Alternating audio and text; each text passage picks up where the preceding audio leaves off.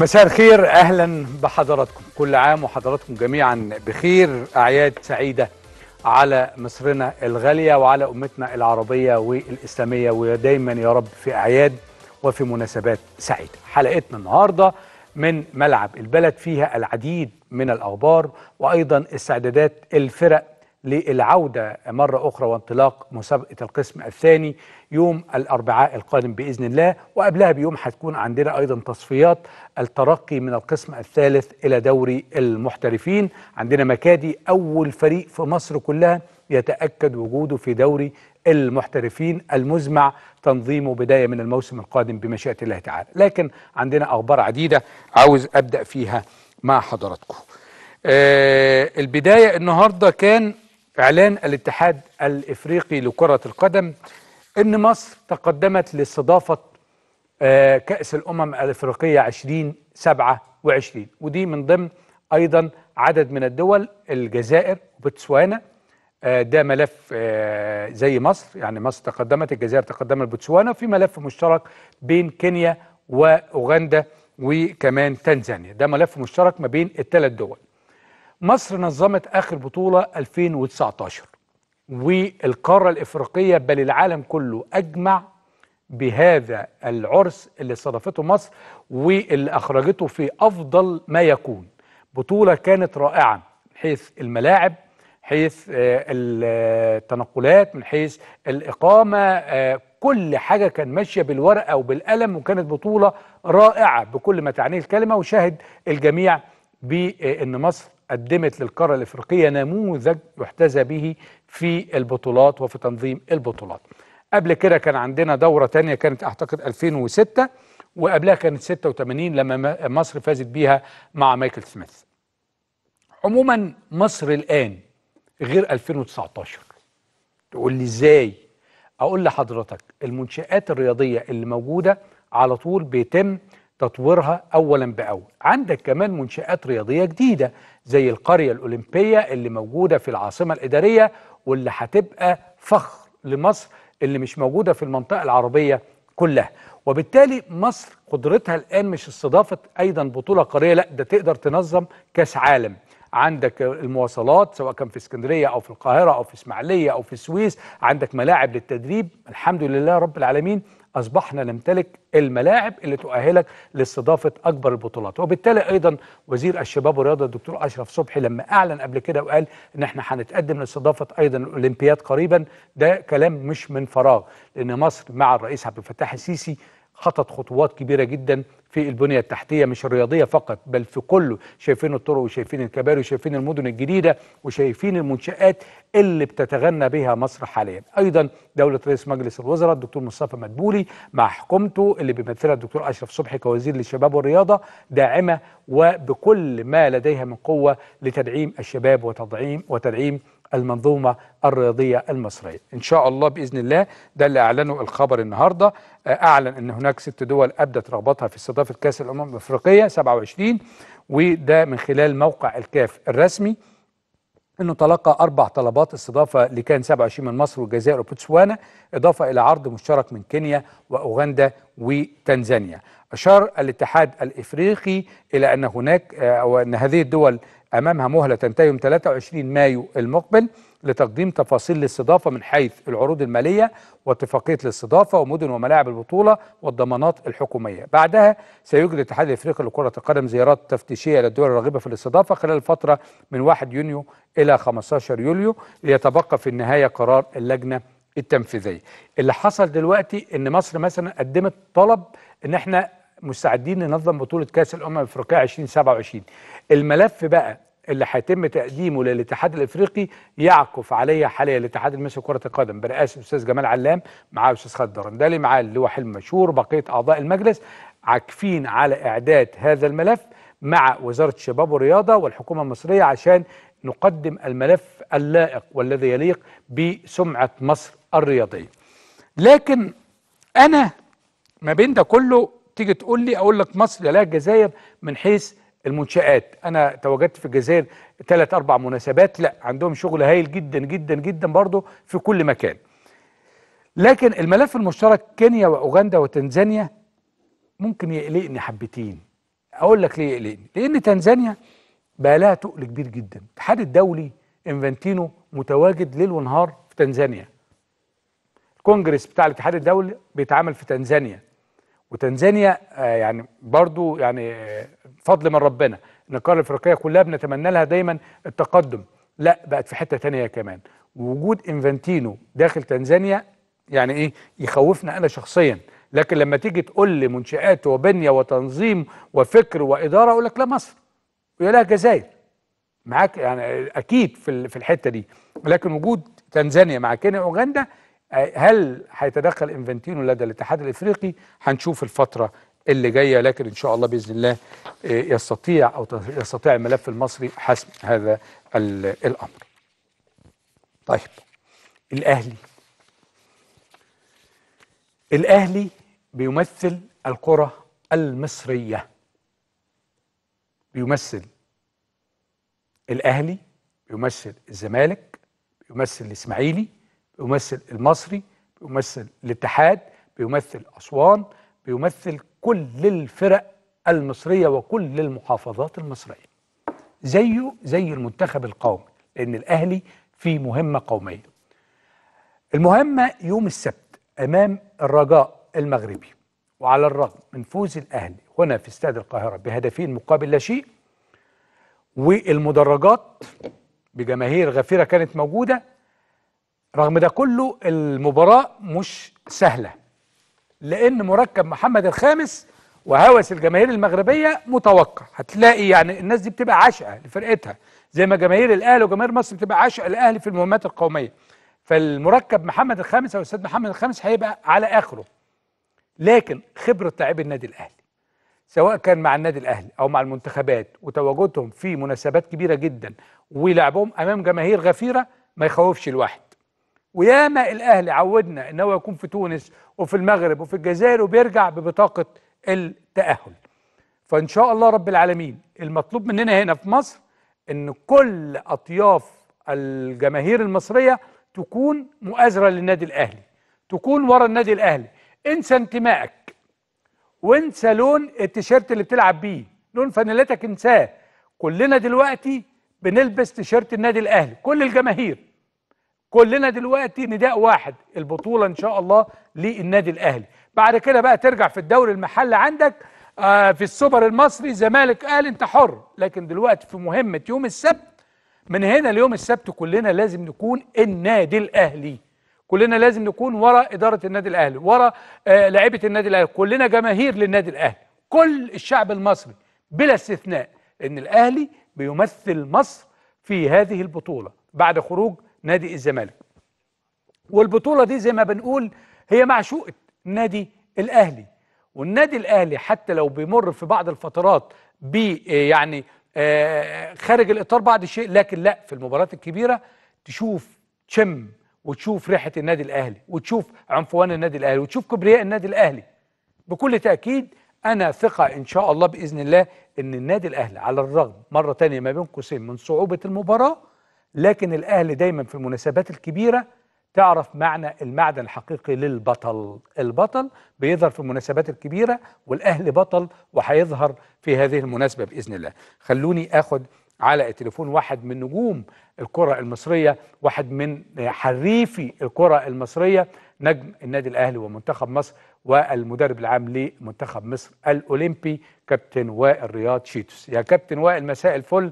منور الدنيا وكل سنة وحضرتك. طيب. يا مساء الفل يا دكتور إيهاب. عامل إيه؟ الحمد لله. أخبارك أنت إيه؟ والله أنا زي الفل الحمد لله. هطمن منك على أخبار المعسكر. أنا عارف إن أنتوا في معسكر دلوقتي كان الله في العون واداه وقدود إن شاء الله. لكن خليني الأول أتكلم عن مباراة الأهلي والرجاء. الأهلي فاز بهدفين مقابل لا شيء هنا في استاد القاهرة. على الرغم من كده أنا بقول المباراة مش سهلة في المغرب لأن المغرب برضو مركب محمد الخامس هيمتلأ عن آخره.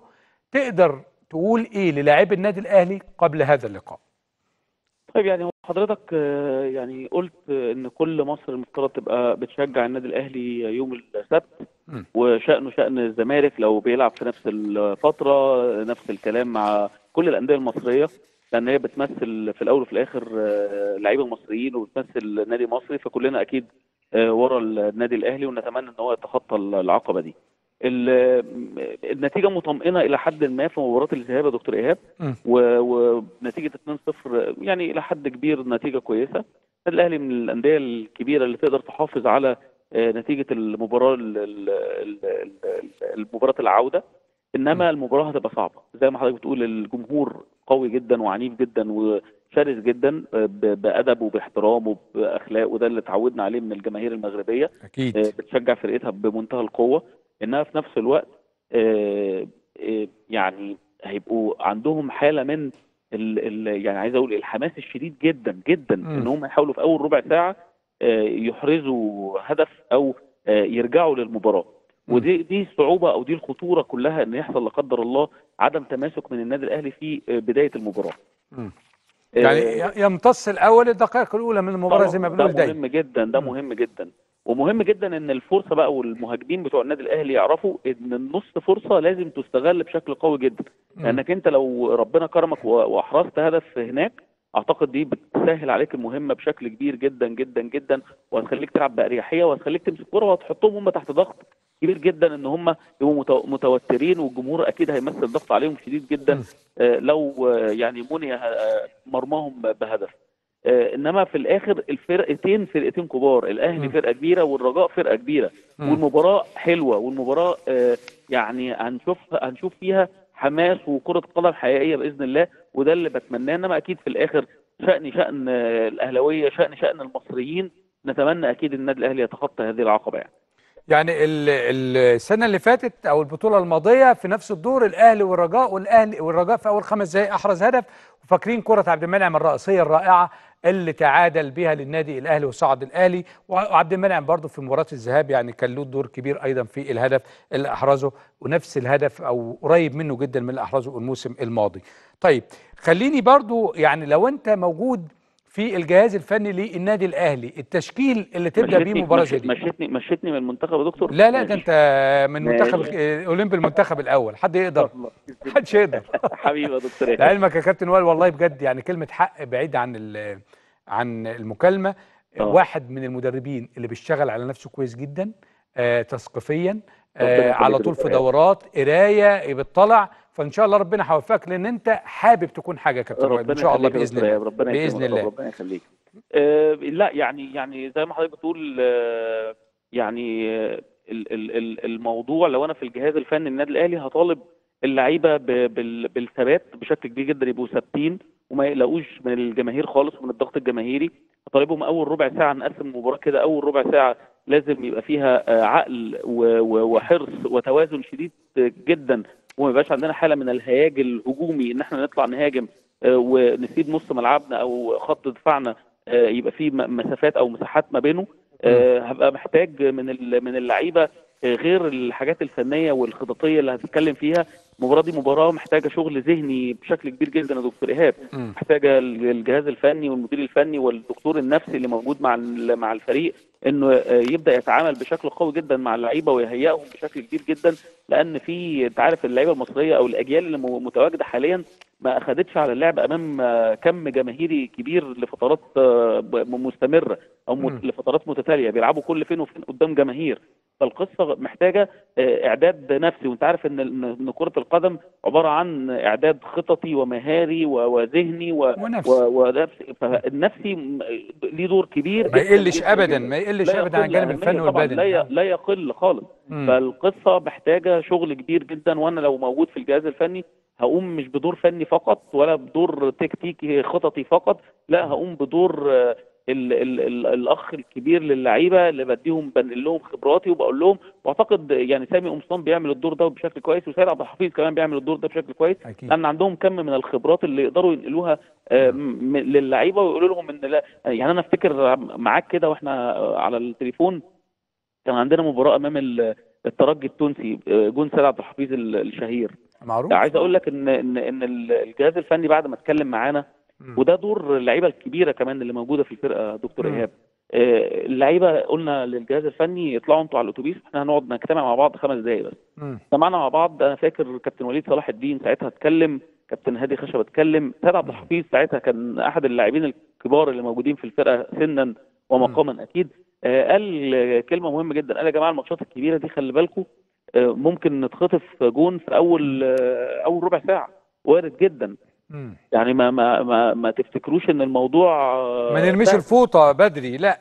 قاتل نلعب لآخر ثانية لأن ممكن وارد جدا إن يجي يجي فينا جون في أول ربع ساعة وقد كان ترجي. أحرز فينا هدف وسيد عبد الحفيظ أه- أحرز هدف في في في الد- في الدقائق الأخيرة في الدقيقة أخيراً. 70 ولا- آه وأبو تريكة و- مع الصفاقسي كمان التونسي يعني ما- نفس الكلام آه، بالظبط. نفس ف... نفس ف... فعندك لعيبة تقدر تقوم بالدور اللي ينقلوا فيها خبراتهم واللعيبة الكبار اللي موجودة يقدروا ينقلوا خبراتهم فأعتقد إن المباراة دي مباراة محتاجة إعداد من شكل خاص لأن آه، اللي أنا عرفته كمان إن الرجاء عامل مكافئات آه، كبيرة جدا لتخطي عقبة الأهلي رئيس النادي عامل مكافئات آه، يعني كبيرة للاعيبته وده حقهم طبعا وبنتمنى التوفيق في الآخر إن إن ما حدش يتعور وما حدش يعني آه، المباراة تكون آه، بتأثر عليه بشكل سلبي صحيا يعني.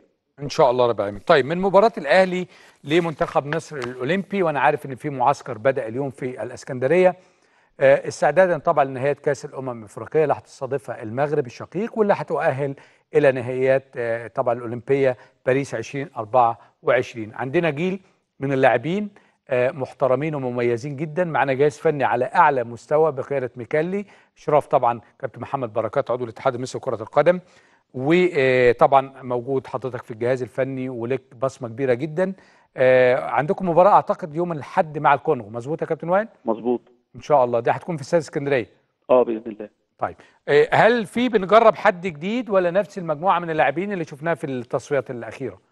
طيب خليني في البداية برضو أقول لحضرتك دكتور إيهاب إن بشكر باسم المنتخب الأولمبي كله آه، مجلس إدارة الاتحاد وكابتن محمد بركات المشرف العام لأن هم الحاج عامر حسين طبعا قام بدور كبير جدا في دينامو في اسكندرية أكيد. آه طبعا. لا غير كده لأن خلق خلقتوا لنا أربع أيام من العدم نقدر نتجمع فيهم نقدر نفكر اللعيبة بشغلنا لأن دي مش أجندة دولية. آه، من خلالك برضو بحب أشكر الأندية اللي تعاونت معانا بشكل كبير وبعتت اللعيبة كلها واللعيبة كلها متواجدة في المعسكر بشكل منتظم. ودي حاجة كويسة لأن إحنا خلاص يعني أكيد ال ال ال الناس كلها حاسة ان إحنا شهر ستة إن شاء الله عندنا حلم كبير وهي بطولة إفريقيا المؤهلة للأولمبياد. فإن شاء الله عايزين نتواجد للأولمبياد لل- للمرة الثانية على التوالي كنا في. طوكيو 2020 ونتمنى إن إحنا نبقى في باريس 2024 فبشكرهم كلهم من خلال آه، برنامج حضرتك المحترم. آه، حاجة تانية أو السؤال اللي حضرتك بتسأل عن هل وجود لعيبة جديدة؟ آه عندنا اتنين لعيبة ينضموا لأول مرة لمعسكر المنتخب الأولمبي وشفنا إن هم آه، آه، يعني يستحقوا ياخدوا فرصة يتشافوا فيها لأن آه، لعيبة النادي الأهلي مش متواجدة لعيبة بيراميدز مش متواجدة لل... عندهم ماتشات إفريقية فرقهم فضمينا أحمد فوزي من نادي المقاولين العرب وضمينا أحمد بهاء من نادي الاتحاد السكندري الاثنين position دول يمكن عندنا فيهم مشكلة لأن ما فيهمش حد كتير دلوقتي فقدرنا إن إحنا آه، آه، نضمهم وهيبقوا موجودين معانا إن شاء الله. والمباراة الودية يوم الأحد آه، أمام منتخب الكونغو اللي وارد جدا لسه ال- القرعة يوم 5 5 دكتور إيهاب. يكون موجود معانا. الكونغو وارد تبقى موجودة معانا فيبقى لعبنا مع المغرب ولعبنا مع الجابون ولعبنا مع الكونغو. يعني وإن شاء الله بإذن الله قبل البطولة كمان ممكن نلعب لنا ماتشين كمان مع فرق. من المجموعة الثانية فأعتقد هيبقى عملنا إعداد بشكل جيد يعني. إن شاء الله بنتمنى لكم التوفيق وكل التحية للجهاز الفني واللاعبين بالكامل. إن شاء الله نبارك لكم في الصعود إلى الأولمبياد إن شاء الله. أشكرك شكرا جزيلا. نجم مصر كابتن وائل رياض. أه بشكرك شكرا جزيلا يا كابتن وائل. شكرا جزيلا. طيب عاوز بس أرجع مرة تانية للنادي الأهلي طبيب النادي الأهلي الدكتور أحمد أبو عبلة. هيوضح موقف معلول من لقاء الرجاء. قال على الفيسبوك إن معلول جاهز للقاء الرجاء وكذلك جميع اللاعبين المتواجدين مع بعث الفريق في المغرب. أوضح إن هناك فحوصات مستمرة لكل اللاعبين تجنبا لحدوث أي إجهاد مضيفا أن هناك جلسات استشفائية للحفاظ على جاهزية الجميع وكشف إن عمرو السولية بيتقدم بشكل كبير في برنامج العلاج الطبيعي اللي بيؤديه في القاهرة بعد شكوى من الام في العضله الخلفية. طبعا كان معلول عنده اجهاد لكن إن شاء الله موجود وكل لعيبة النادي الأهلي هتبقى موجودة في ال- اللقاء إن شاء الله. ويرجع النادي الأهلي ببطاقة التأهل وإحنا متأكدين من كده إن شاء الله رب العالمين. سفير مصر بالمغرب سيد ياسر عثمان قال إن حضور جماهيري كبير سنشاهده في مباراة الأهلي والرجاء. وقال إن هناك 55 ألف مشجع من جماهير نادي الرجاء البيضاوي المغربي سيحضر مباراة الأهلي وواضح هناك تنظيم جيد للنادي الأهلي في المغرب واستقبال مميز أشاد به النادي الأهلي وجميع الحاضرين في المغرب. آه، طبعا تشكيل الأهلي المتوقع الشناوي في حراسة المرمى والشناوي ما شاء الله ما شاء الله يعني بيفكرنا بالشناوي ال- الحارس الكبير وهو طول عمره حارس كبير.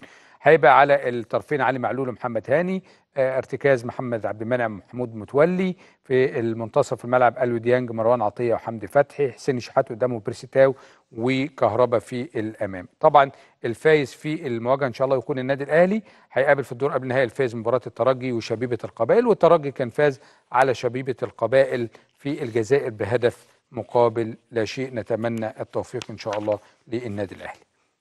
بعيدا عن المباراة هقول لحضراتكم كولر بعد مباراة الرجاء هيوقع عقده الجديد بعد ما هينضاف له بعض البنود وهيستمر مع النادي الأهلي. عندي أسماء في النادي الأهلي مش هعلن عنها دلوقتي خليني عشان آه محدش يقول قبل مباراة مهمة بعد المباراة إن شاء الله نبقى نتكلم بالتفصيل. تمام؟ آه طبعا من مباراة الأهلي والرجاء هيبقى عندنا مباراة السوبر المصري. بين الزمالك والاهلي انها مباراة الزمالك واللي هتحتضنها آه العاصمة الإماراتية أبو ظبي يوم الجمعة زي النهارده إن شاء الله رب العالمين في أبو ظبي. آه زي بكرة إن شاء الله. النهارده خلاص إحنا خلاص دخلنا في التوقيت الجديد.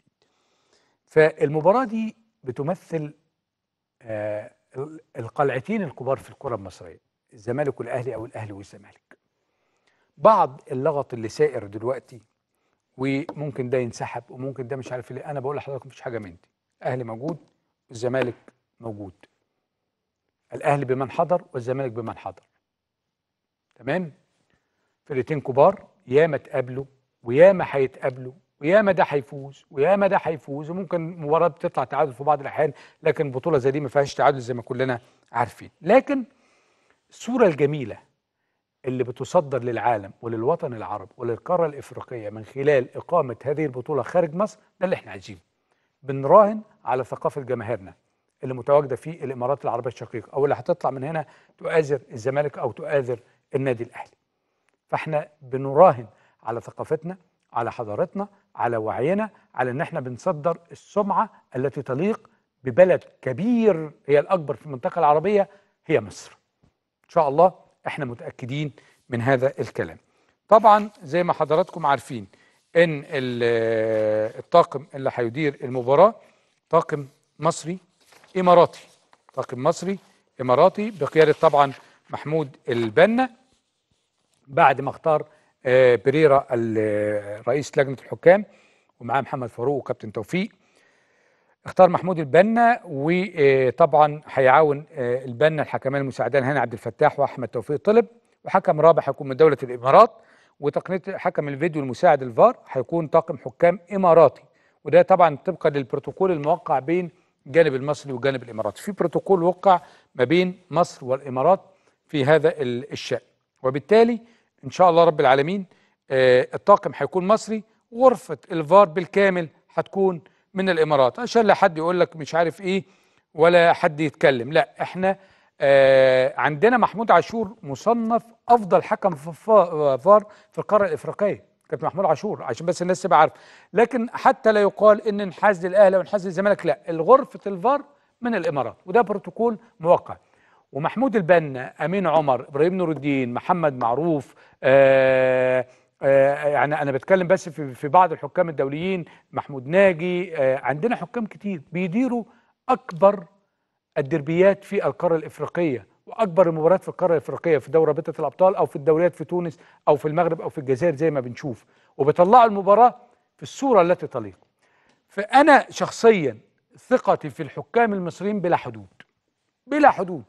واللجنة الحالية مستر بيريرا ومعاه كابتن محمد فاروق آه نائب رئيس اللجنة وكابتن توفيق السيد وبقية وأيمن دجيش وبقية اللجنة بالكامل آه ناس شغالة شغل صح وهنشوف تحكيمنا آه بصورة جديده جدا خلال المرحلة ال- القادمة إن شاء الله رب العالمين فاللي أنا عاوز أقوله إن شاء الله البنا بعنفوانه وبقوته وبإحكامه هيطلع المباراة في الصورة التي تليق بالحكام المصريين. هقول لحضراتكم بس إحنا عندنا آه، من 2014 نتائج المباريات اللي ادارها حكام مصريين من 2014 للأهلي والزمالك. أول مباراة قمة كانت عام 2014 بيديرها حكم مصر بعد غياب 22 سنة.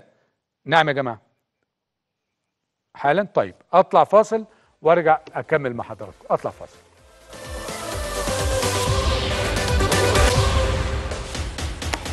كل سنة وحضراتكم طيبين يعني طلعنا فاصل الساعة 12 رجعنا الساعة 1 خلاص نظبط ساعتنا على توقيت الصيف الجديد. الآن أصبحت الساعة الواحدة. بنقدم ساعتنا ساعة. يعني يا ريت كل اللي متابعنا قدم الساعة بتاعتك دلوقتي عشان تبقى في التوقيت الجديد. أرجع لحضراتكم مرة تانية عن الحكام المصريين اللي أداروا لقاءات القمة. في 2014 أول حكم مصري يدير القمة بعد غياب 22 سنة. وده كان آخر مباراة كان أدارها كابتن قادر عبد العظيم. وده كان في الدور الثاني موسم 95 96 آه، ده كان دورة تحديد البطل موسم 2013 14 ادارها الحكم آه، إبراهيم نور الدين واحتسب ضربة جزاء صحيحة للزمالك وانتهت بفوز الأهلي بهدف مقابل لا شيء آه، مباراة السوبر المصري 2014 أدارها الكابتن محمد فاروق اللي هو نائب رئيس لجنة الحكام حاليا وانتهت بفوز الأهلي بركلات الترجيح. مباراة الدور الثاني موسم 2017 18 أدارها الكابتن محمد الحنفي واحتسب ضربة جزاء صحيحة لصالح الأهلي وانتهت بفوز الزمالك بهدفين مقابل هدف. مباراة الدور الأول موسم 2021 أدارها الكابتن محمود البنا واحتسب ضربة جزاء صحيحة للزمالك وانتهت بفوز الأهلي 2-1. لاحظ إن اللي بينحسب له ضربة جزاء هو اللي بيخسر في الآخر. مباراة الدور الثاني كان موسم 2021 أدارها الكابتن أمين عمر وانتهت بالتعادل بدون أهداف. مباراة الدور الأول 21 22 أدارها الكابتن محمد عادل واحتسب ضربتي جزاء صحيحتان للأهلي وضربة جزاء صحيحة للزمالك وانتهت بفوز الأهلي 5 3 دول حكامنا اللي أداروا مباريات القمة. وأنا بقول لحضراتكم عندنا حكام على أعلى مستوى كابتن عادل والحنفي وأمين والكابتن عاشور وكابتن البنا وكابتن آه، محمد معروف والكابتن إبراهيم نور الدين ومحمود ناجي. يعني دولة الدوليين على أعلى أعلى واحد الغندور طبعا من حكامنا المميزين جدا جدا جدا. فخلينا يا جماعة ندي الثقة لحكامنا كنت جدا معجب بقرار المهندس أحمد مجاهد في اللجنة الثلاثية الماضية لما أسند المباريات لحكامنا المصريين. وعلى كده كنا أكثر إصرارا اللي لازم الأمر ده يرجع مرة ثانية إدوا بقى حكامنا المصريين هم اللي يديروا المباريات ويبقى عندنا ثقة فيهم وكلنا ثقة بكل تأكيد في حكامنا المصريين. عشان يعني رأي بريرا برضو وأنا بأيده تماما. أنا باجي أطالب الاتحاد الدولي أو الاتحاد الإفريقي بوجود حكامنا في المناسبات الكبيرة في في البطولات الكبيرة. يقول لك إذا كنت أنت في بلدك ما بتديهمش المباريات الكبيرة اللي عندك. جاي تطالبني إزاي؟ فلازم ننسى الصفحة دي ودي ثقتنا عشان نلاقي آه، جمال غندور مرة تانية وعصام عبد الفتاح وجهاد جريشة اللي نورونا في كأس العالم كحكام ساحة وأيضا آه، كابتن وجيه أحمد وابو الرجال وغيرهم من اللي كانوا موجودين في آه، حكام المساعدين. إن شاء الله بإذن الله حكامنا قدها وقدود. بعض الأخبار السريعة برضو. بلاش الخبر ده عشان ما حدش يتكلم وخلينا نقوله بعد المباريات اللي جاية إن شاء الله. طيب عندنا سحب قرعة دور ال 32 لكاس مصر الاثنين المقبل. طبعا الكاس الجديدة فاز بيها النادي الأهلي الكاس بتاعت الموسم الماضي بعد ما فاز على بيراميدز. هيبقى عندنا يوم 2 الاثنين المقبل 1 مايو. مراسم سحب قرعة دور ال 32 لكاس مصر 22 23 بمقر الاتحاد وأعلنت آه، أو أعلن الاتحاد المصري موعد مبدئيا لدور 32 يعني الخبر مكتوب وأعلنت رابطة الأندية. الرابطة خاصة ب بالدوري العام. الكاس خاص بالاتحاد المصري. يعني لما ألاقي مواقع تكتب كده تبقى كارثة. الدوري خاص بالاتحاد آه، بالرابطة والكاس خاص بالاتحاد المصري. وكاس الرابطة بتنظمه الرابطة الأندية برئاسة النائب أحمد دياب. آه، طبعا يقام دور ال 30 لكأس مصر مشاركة أندية الدوري الممتاز وعددهم 18 نادي بجانب 14 نادي من الأقسام الأخرى. هم نادي شبان قنا نادي لافيينا بترول أسيوط النجوم المصرية للاتصالات سكة الحديد آلو إيجيبت منتخب السويس شرقية بالزقازيق ديكرنس بروكسي وراية والحمام آه وطلائع الأسطول والله يكون في عون الحاج عامر حسين بصراحة يعني. طيب قبل ما ينضم لي كابتن آه أبو العينين شحاتة نجمنا الكبير والمدير الفني للعديد من الأندية وناقدنا الرياضي أحمد قصاص عندنا كلام كتير جدا لكن أقول لحضراتكم بس مؤجلات الدوري الممتاز البنك الأهلي كان تعادل مع المصري بورسعيد وفيوتشر خسر من الداخلية آه، بهدف قاتل 0 1 طلائع الجيش كان فاز على غازي المحلة وتم تغيير عبد الباقي جمال كابتن عبد الباقي وحل مكانه. طبعا كابتن رضا شحاتة كمدير فني غازي المحلة أحد القلاع الرياضية اللي بنتمنى لها الاستقرار والتوفيق. بقول للكابتن صابر عيد آه، مدير الرياضي مليون سلامة. أجرى عملية جراحية النهارده واحد من نجومنا مونديال 90 واحد من نجوم منتخبنا ومن الناس اللي بيتميزوا بالأخلاق. مليون سلامة. كابتن صابر وإن شاء الله ترجع تنور مكانك بإذن الله. الزمالك كان فاز على سيراميكا كليوباترا بهدف مقابل لا شيء. مباريات الأسبوع 27 يوم الثلاثاء 2 مايو غزل المحلة مع سموحة 6 مساء الداخلية مع إم بي 8 ونص. يوم الأربع أسوان مع المصري البورسعيدي 7 مساء. يوم الخميس 4 مايو المقاولين العرب مع البنك الأهلي 6 مساء. حرس الحدود مع طلائع الجيش 6 مساء. فيوتشر مع فاركو الساعة 8 ونص. في كأس الرابطة يوم ال- الجمعة بكرة الاتحاد السكندري هيتقابل مع امبي يوم السبت المصري مع الإسماعيلي والبنك الأهلي يوم الأحد مع سيراميكا كليوباترا وحرس الحدود مع فيوتشر ده في كأس الرابطة. الأسبوع القادم إن شاء الله هيعاود قطار مسابقات القسم الثاني انطلاقه من جديد سبعة أسابيع متبقية على انتهاء المسابقة. الكل في صراع. اللي عاوز يحجز بطاقة التأهل إلى الدوري الممتاز واللي عاوز يحجز بطاقة التواجد في دوري المحترفين اللي هيبقى موجود لأول مرة الموسم القادم. صراع كبير جدا في الثلاث مجموعات في الصعيد في القاهرة والقناة في آه، بحري والإسكندرية ومطروح. هنشوف بالتفصيل مع الكابتن أبو العينين ومع ناقدنا الرياضي أحمد القصاص ما يدور داخل هذا الدوري. أيضا كمان عندنا الترقي الخاص بالقسم الثالث عندنا مكادي أول فريق في مصر مع طبعا الكابتن أحمد الصحيف ربنا يديله الصحة صعد إلى دوري المحترفين الوحيد اللي ضامن مكانه حتى الآن.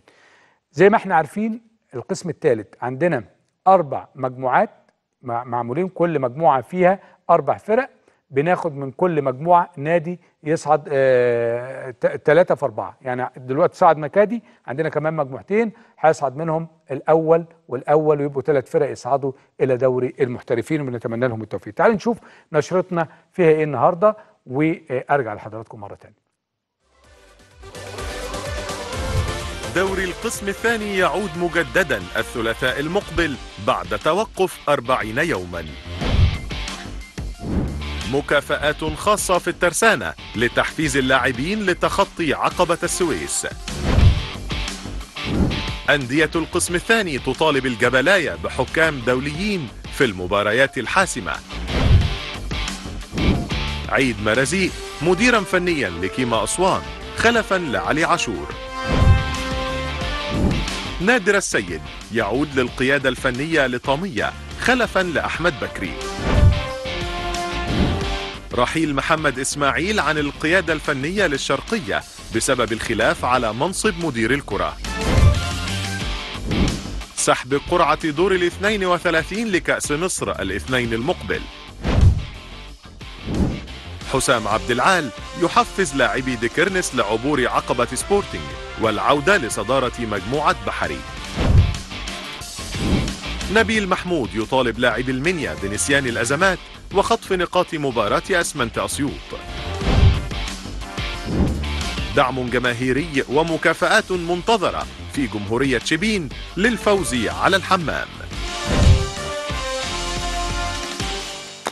زي ما قلت لحضراتكم صراع كبير جدا بين الأندية في المقدمة في الثلاث مجموعات من يحمل بطاقة التأهل إلى الدوري الممتاز إما أن يكون فريق جديد أو عودة بعض الفرق إلى مكانها في الدوري الممتاز. كلام وكل رصد لكل الأرقام هيكون بالتفصيل مع ناقدنا الرياضي أحمد قصاص ومع نجمنا كابتن أبو العينين شحاتة بعد الفاصل.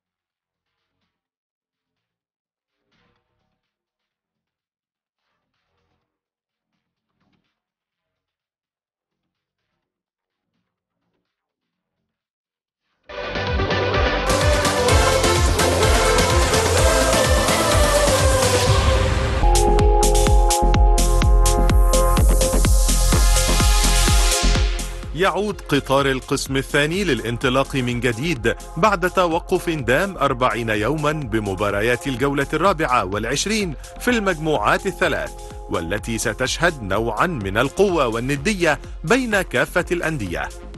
فأهل القمة استعدوا جيدا خلال فترة التوقف من أجل الفوز في المباريات المقبلة من أجل تحقيق حلم الصعود. بينما يسعى الفرق الأخرى للبقاء ضمن الخمسة أندية التي ستستمر في دور المحترفين. ففي المجموعة الأولى يستضيف الجونة المتصدر برصيد 50 نقطة نظيره بترول أسيوط صاحب المركز الثالث برصيد 47 نقطة على قمة المجموعة فالفائز مولود والخاسر مفقود. بينما يخرج لافينا صاحب الوصافة لمواجهة ملاوي في مواجهة سهلة نسبيا لأبناء الأسيوطي. وفي مواجهات لا تقل أهمية عن سابقاتها يلتقي أسمنت أسيوط مع المنيا وتليفونات بني سويف مع المدينة المنورة والنصر للتعدين ومصر للمقصة وشبان قنا وديروط وطمية وكيما أسوان والفيوم والألومنيوم. أما المجموعة الثانية فتشهد عدد من اللقاءات الجماهيرية القوية يأتي على رأسها لقاء منتخب السويس مع الترسانة والذي يعد أحد الدربيات الجماهيرية التي تحظى باهتمام خاص نظرا لشعبية الفريقين بالإضافة لموقفهما الصعب في جدول الترتيب حيث يحتل الفريقين المركزين السابع والثامن برصيد 35 نقطة ويسعى كل منهما لخطف ثلاث نقاط. من أجل مواصلة المشوار واحتلال المركز السادس للبقاء بجدول المسابقة. وفي إطار مباريات نفس المجموعة يلتقي السكة الحديد مع النصر ووادي دجلة مع الإعلاميين كهرباء الإسماعيلية مع الإنتاج الحربي و Eastern Company مع بورتو السويس والعبور وزد FC وبتروجيت مع مستقبل وطن والاتصالات مع القناة. أما المجموعة الثالثة فيستضيف طنطا المتصدر برصيد 43 نقطة. نظيره كفر الشيخ في مواجهة صعبة لأبناء السيد البدوي كما يواجه جمهورية شبين صاحب المركز الثاني برصيد 40 نقطة نظيره الحمام المطروحي. كما يخرج بلدية المحلة صاحب المركز الثالث برصيد 39 نقطة لمواجهة بروكسي في مواجهة محفوفة بالمخاطر لأبناء أحمد رؤوف في ظل المستويات القوية التي يقدمها أصحاب الأرض. في الوقت نفسه يلتقي الهلال المطروحي مع الأولمبي ونبروه مع أبو قير للأسمدة وديكرنس مع سبورتينج والمصري بالسلوم مع المنصورة والمجد مع بايونيرز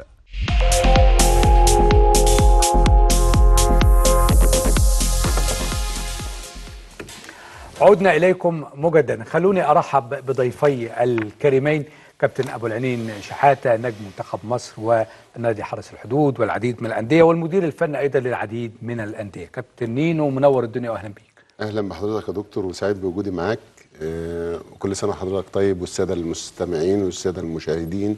وأسرة البرنامج ومصر كلها إن شاء الله دايما في أعياد بإذن الله. يا رب. ناقدنا الرياضي الكبير بالمصري اليوم الأستاذ أحمد القصاص منور الدنيا وكل سنة وأنت طيب. انت طيب يا دكتور إيهاب. سعيد طبعا بيك وطبعا كابتن أبو. العينين. ودايما. حلقات الكابتن أبو العينين دايما يعني زي ما بيقولوا كده حلقات إيه. نارية. يعني كلام كتير وخلاص بقينا في الأمطار الأخيرة. الأخيرة. اللي ذاكر. ذاكر. ذاكر. واللي ما ذاكرش. ويبقى الحظ. في النهاية. هو ده اللي باقي في الأسابيع السبع الأخيرة. والمواجهات بقى. كل مين؟ كل فريق هيقابل مين. ده اللي بقى لنا بعد ما آه، في المجموعة الأولى لافيينا بيحتل الصدارة برصيد 50 نقطة ومعاه الجونة بنفس الرصيد 50 نقطة. يليهم بترول أسيوط 47 ثم النصر للتعدين 43 مصر مقصة 41 هنا المنافسة. لغاية دلوقتي قائمة. في المجموعة الثانية زد برصيد 46 نقطة في المركز الأول السكة الحديد 45 نقطة وادي دجلة 44 نقطة القناة 43 وبتروجيت 38 صراع النقطة في هذه المجموعة. في المجموعة الثالثة طنطا 43 نقطة جمهورية شبين 40 بلدية المحلة 39 ديكيرنس 39 أبو قير 38 كفر الشيخ 36 بروكسي وثلاثين. صراع مرير بين الصعود إلى الدوري الممتاز وبين التواجد في دوري المحترفين. بسم الله الرحمن الرحيم. يعني آه، الموسم ده صعب جدا يا دكتور. صعب في حاجات كتير جدا جدا. في النظام طبعا اتحاد الكرة حطه بهبوط عدد كتير آه، من الأندية ال- عشان تطبيق دوري المحترفين. هو مش هبوط هو في نفس الدرجة. هو يعني استحداث يعني درجة. استحداث درجة لكن هو الشغل كله على دوري المحترفين. تمام. والصعود لدوري المحترفين. ويعني أنا كنت في وقت من الأوقات ماسك فرقة في في في في الممتاز بيه وك- وكنت في منافسة. كان تفكيري كله في دوري المحترفين. وأنا بقول لك كل الناس اللي شغالة دلوقتي همها دوري المحترفين اولا. لأنه آه على الأقل فيها خمس بطاقات أو ست بطاقات. لكن الدوري الممتاز آه بطاقة واحدة. كل المجموعات زي ما حضرتك شايف كده يا دكتور أكتر من سبع فرق أو ست فرق بينافسوا في كل مجموعة. ودي الأول مرة بتحصل. كنا دايما بنلاقي فرقة هربت وسبقت وضربت وخلاص.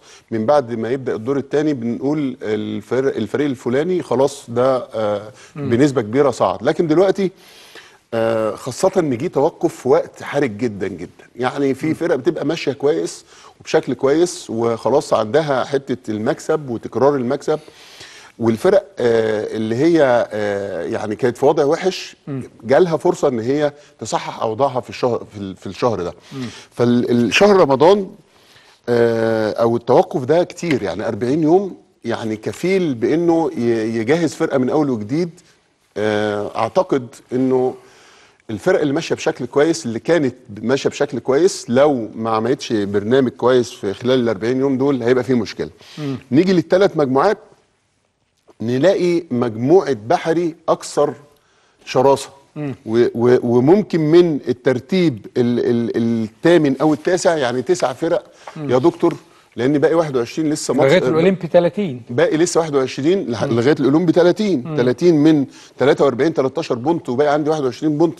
لسه كتير قوي والفرق زي ما انت شايف ما نقدرش نقول أو نحكم على ماتش بأن الفرقة دي هتكسب الفرقة دي أو لا مجموعة صعبة جدا جدا جدا. وأقل إمكانيات يمكن مجموعة بحري الأقل فنيا وماديا وكإمكانيات لأول مرة في تاريخ المجموعة. لا أقل لكن فنيا؟ فنيا طبعا. فنيا لما الاقي الأول أو اللي بينافس كسب ب 10 ماتشات بس من 23 ماتش ما ممكن يقول لك ده قوة هذه قوة المجموعة. آه. قوة المجموعة يعني مفيش فريق بيتهزم بال- ما- بالسهل ما ما اظنش يعني برضو قوة المجموعة ب... ب... هنقول مستويات آه، متقاربة هنقول مستويات آه. متقاربة آه. الإمكانيات المادية لأول مرة في مجموعة بحري بتلاقيها قليلة جدا والفرق سبحان الله اللي هي صاعده من تحت زي طنطا وزي جمهورية شبين صاعدين من الدرجة الثالثة وبينافسوا. أنا بس بحييهم عندهم يعني بص يا كابتن خلينا برضو نتفق. جمهور. غير الجمهور أنت عندهم- بتتكلم عندهم لعيبة على بتتكلم عن. عن طنطا اللي في الدوري الممتاز للقسم الثاني للقسم الثالث. يعني في ثلاث مواسم من ممتاز لثاني لثالث ورجع تاني للقسم الثاني. فطنطا إما أن يكون متواجد في القسم الثاني أو في الدوري الممتاز. شبين نفس الأمر موجود على طول فهبوطهم للقسم الثالث ده اللي كان شيء غريب وشيء مستغرب لكن عودتهم مرة ثانية ومنافستهم أنا نفسي ما أمر استغربوش طبيعي، أمر ما استغربوش طبيعي. آه. مع قوة الجماهير زي ما قال الاستاذ أحمد آه. مع التاريخ بتاعهم لا أنت بتتكلم طيب في؟ إحنا إحنا كمان يعني أنا بتكلم في مجموعة أنا اشتغلت فيها في أول السنة لا هي فنيا مش زي كل سنة هي مش. زي كل سنة يا فنياً مش كابتن زي ماشي. كل سنة. لكن لكن يا دكتور في حاجة بأمانة بس أنا هنتكلم على الصعيد برضه ممكن نتفق نختلف ده الخلاف وارد. في ال- في الرأي يا كابتن أبو العين. انت عندك مجموعة الصعيد. من أول السابع لل 16 كل الفرق ديت الالومنيوم ديروت أسمنت شبان فيوم كل الأندية ديت دعمت بإمكانيات ما عندهاش إمكانيات مادية تدعم بلعيبه على مستوى عالي. عكس مجموعة بحر. تس خد عندك من ال من ال 16 فرقة 14 دعموا تدعيم قوي جدا. تمام؟ اللي ما دعمش عمل إيه؟ عنده البديل. مدرب شاطر قوي زي عمرو أنور زي عصام شعبان قدر يعوض ده بيه يا كاب- يا كابتن إن هو يتعاقد مع لعيبة من القسم الثالث والرابع. ولعيبة نجح إن هو يجهزها كويس ويحطها على التراك بقت النهارده.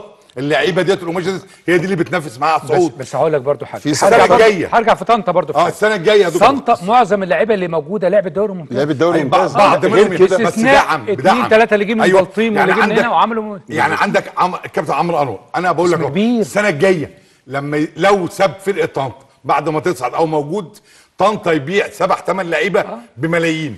شبين الكوم عنده ثلاث أربع لعيبة يبيعهم بل... يعوض اللي. صرفه السنة دي. ده انت عندك كفاية في طنطا. ميدو جمال والدح ده ميدو جمال ده يكسر الدنيا. فأنا بقول للكابتن ابو العينين الصعيد آه الصعيد فيها 8 9 أندية. دول ما دعموش لأن إمكانياتهم ماديه محدودة. ده انت عندك ديروت يا كابتن ابو العينين ديروت طمية. لسه بادئ فتره الأول امبارح. دليل على إن مفيش إمكانيات مادية. لكن مجموعة بحري تحديدا في 14 نادي. لا كلهم دعموا لا أنا أنا أنا المقصود إنه مثلا جمهورية شبين النهارده وطنطا. وانت حضرتك عارف بالظروف المادية بتوع الناديين دول ولما الاقيهم على القمة يا أستاذ أحمد آه. يبقى العملية دي. الموضوع مش موضوع فلوس صح. مدرب. الموضوع مو... وإدارة آه، وإدارة. لأن وإدارة. أنا هاجي كمان للإدارة في إيه في إنه طنطا وجمهورية شبين ما كانش ده موقعهم في أول الموسم لا. أو لحد 10 ماتشات في بالظبط. في صح. في, ال- في, ال- في الجولات الأولى يا دكتور وس- وال- والمجالس الادارات تحملت كتير جدا ده وصبرت طنطا كان في المركز الكام يا كابتن ال 11 وصبرت والنهاردة آه، طنطا آه. وجمهورية شبين في المنافسة. ده دليل على وعي ال- وعي الإدارات. اللي أنا بطلبه اللي أنا ب- ومدرب شاطر. اللي أنا بطلبه دلوقتي آه. من هذه الإدارات أنت خلاص يعني بقيت يعني حطيت رجل في الدوري. رجل خلاص في الامتار الأخيرة. اتصرف بقى يعني أنت آه، النهاردة- الكلام ده- هنا الجدعانه دي بقى. النقطة بقى. زي زي ما تحمل ال- ال- ال- المدير المدرب الفني المدير. الفني واللعيبة. والجمهور. برافو عليك كابتن. ال- النتائج الأولى السلبية آه، آه، أو أو الهجوم عليهم النهارده الناس دي في المنافسة. عايز أقول كمان ال- ال- لا يا كابتن قبل ما تخلص بس لازم ادعم كلامك ب- بتوثيق. التوثيق إيه؟ شبين ما صرفش ليه ثلاث مكافآت متأخرة. وليه قسط يناير؟ والله يكون في ما صرفهمش. احمد. النائب أحمد الخشن وأيمن. بيه خطاب ده بجانب إن المكافآت والحاج محمود المكافآت آه، برضه طنطا. بقى له دلوقتي دخل في 10 مكافآت يا كابتن ما خدهمش. لازم بقى زي الكابتن أبو العلم ما قال الإدارات اللعيبة استحملت والمدربين استحملهم لازم الإدارات تصرف بقى. وتقف. يعني جمهورية شبين ادي يعني المكافأة بقى يا كابتن أبو علي لا. آه. أنت كنت راس حربة. ما تهاجم يا كابتن. إحنا مش عايزين نهاجم. إحنا بنقول يعني أنا عايز تهاجم يا أستاذ أستاذ أحمد. ده حبيبي. الله يخليك كابتن. آه إنه فرصة من ذهب. جمهورية شبين تاريخ كبير وطنطا. تاريخ كبير والمجموعة بتضم آه، مجموعة فرق جماهيرية. كابتن أنت بتشوف جماهير شبين عاملة إزاي؟ جماهير- وجماهير طنطا عاملة إزاي؟ إيه ده؟ ده حدوتة. ده حدوتة ده طبعاً. بيبقى أنا أنا بصراحة أكبر استاد بيتملي بالجماهير ج- آه، جمهوريه. بصراحة آه. بيبقى مفيش مكان بالظبط. جماهير طنطا ورا الفريق في كل مكان المنصورة والعش بلدية المحلة وعشقال النادي أنت حضرتك آه، شفت الدورات الدورات الرمضانية، لا، لا، الرمضانيه ما تقولش الجمهور بقى. كمية الناس قد إيه يا. دكتور الكرة بدون جمهور يعني إحنا إحنا هنروح في سكة تانية. أنا عايز أتكلم بس إنه فرصة لأعضاء ومجلس إدارة نادي جمهورية شبين ونادي طنطا بما إنهم دلوقتي على رأس المجموعة إنه تصرف إنتوا معاكم إنتوا تقدروا. المكافآت غير مجزيه بالمرة في جمهورية شبين أنا بتكلم. بأمان. عصام شعبان ومصطفى عبد الفتاح عاملين شغل محترم محترم. على جنيه يا كابتن. 1000 جنيه و500 جنيه لما تطلع ضرايب. طلع يعني ضرايب تصفى على تصفى 800 على جنيه. 800 جنيه. فكمان يعني لا أنا الأستاذ احمد الدكتور أحمد الخشن والأستاذ أيمن خطاب ومجلس إدارة و- واللي هو. إبراهيم أبو ليمون محافظ المنوفيه لازم أول هو لازم يا جماعة وال وال وال وأيضا محافظ الغربية طارق بيه رحمي لازم يا جماعة نقف مع الفرق زي محافظ أيمن بيه خطاب اللي بالقاس في في في المنصورة. بالظبط. ده مطلوب يا جماعة. ده مطلوب جدا لأن- وخلي بالك ودور الم- مجالس ده برضه يا كابتن معذورة في أزمات مالية في الأندية. وبقى الحمل تقيل عليهم. يعني تدخل المحافظين الأيام ديت حتى ولو في الأمطار الأخيرة مع نادي زي وبرضه عاوز أقول حاجة. يعني كان اتحاد الكرة بيدعم حاليا اتحاد الكرة عقد الرعايه الجديد لم يتم تفعيله بعد. لحد دلوقتي. لغاية دلوقتي. فلسه يعني يا دوب خلاص الاشهر الاخيره أول دفعة. هنبتدي برضو نطلع فالاتحاد برضو مخنوق عشان برضو الناس تكون عارفه آه. لكن مساحات الأندية هتروح بكل تأكيد منتظرين أو هنطلع الكلام بس مش على جمهورية شبين آه لا الكلام آه يخص كرس آه بديه المحلة لأنهم موجودين بالفعل في المنافسة. هو وأبو قير الاسمنه وكفر الشيخ وأبو وبروكسي وأبو قير والمنصورة قادره لا ترجع. والأولمبي. يعني برضو إحنا بن بن بن مش بنختص جمهورية شبين وطنطا لا. إحنا بنقول إحنا في عرس. الصعود ده عرس. عرس للمحافظة. بكل ما تحمله الكلمة من معنى. الصعود ده ما بيجيش إلا كل كذا سنة. اللي مش مقدر اللي, اللي فيه الفرقة دلوقتي لا يبقى أنت مش بتاع كورة بقى يبقى أنت إركن كرسيين و... وشمسيتين وخلاص ونقعد تحتهم وخلاص.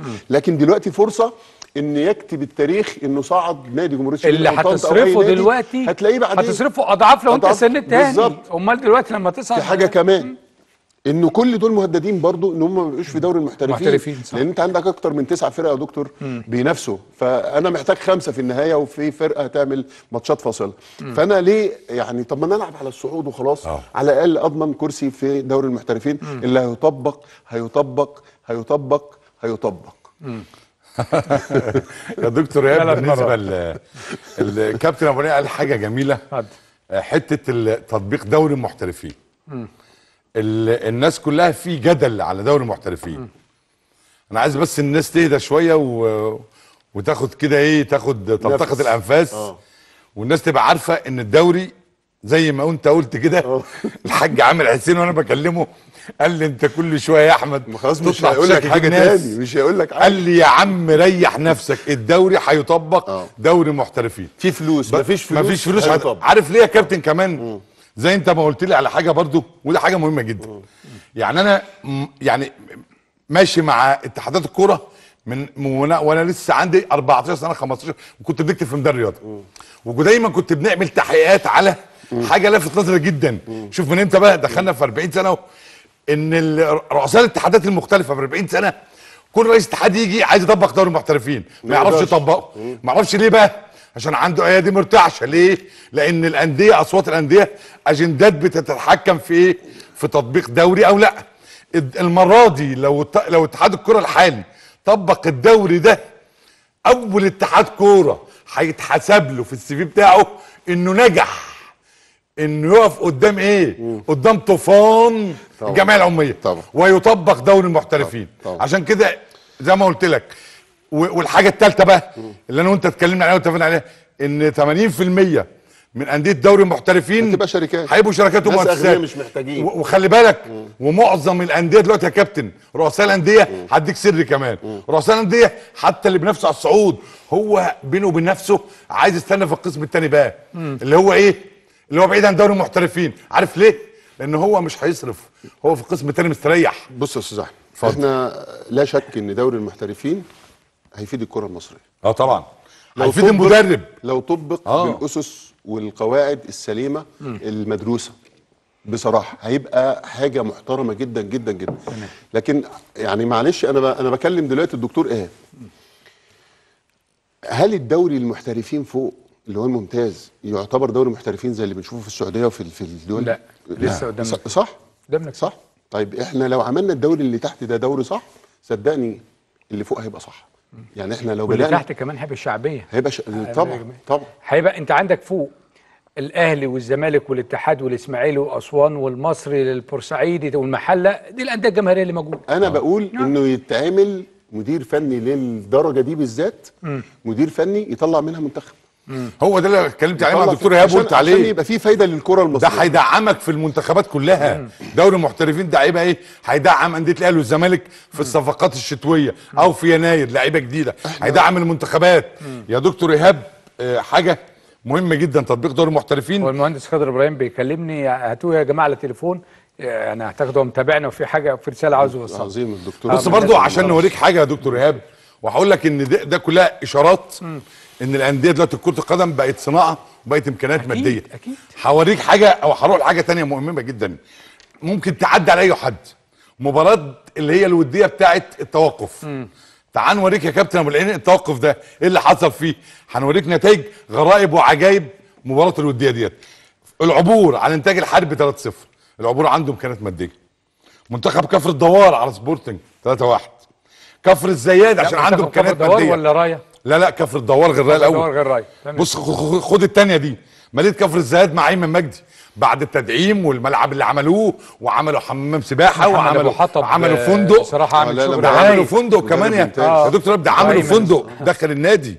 وبقت الصرف دلوقتي أنا رحت أنا رحت آه، نادي مدينه كفر الزيات في زيارة عزمني أستاذ محمد أبو حطب رئيس ال- النادي كان من فترة من شهرين ولا حاجة فرحت لقيت النادي اتغير بقى آه، حاجة- خالص.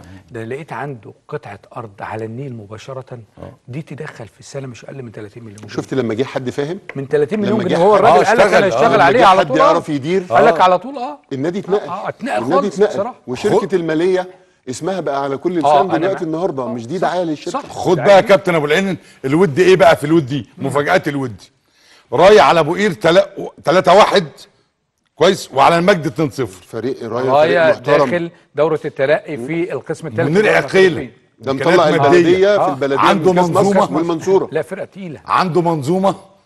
الكابتن منير عقيله وهو مدرب خبرات. كابتن منير سبق اسم- وهو ليه. انه ضرب الاتحاد مدرب شاطر قدر يشتغل عاديات النهارده ب- البلد، ابن ده. بتودينا لفين يا دكتور إيهاب؟ إنك أنت هتروح دوري المحترفين اللي معاه هيشتغل وهيقدر يعدي ويقدر يصنع فرقة ويقدر يستثمر في كرة القدم لأن في كرة القدم النهارده بقت استثمار. يعني النهارده لما تيجي في بروكسي باعوا اتنين لعيبة ثلاثة لعيبة. دخلوا 4 مليون. مش كده يا دكتور؟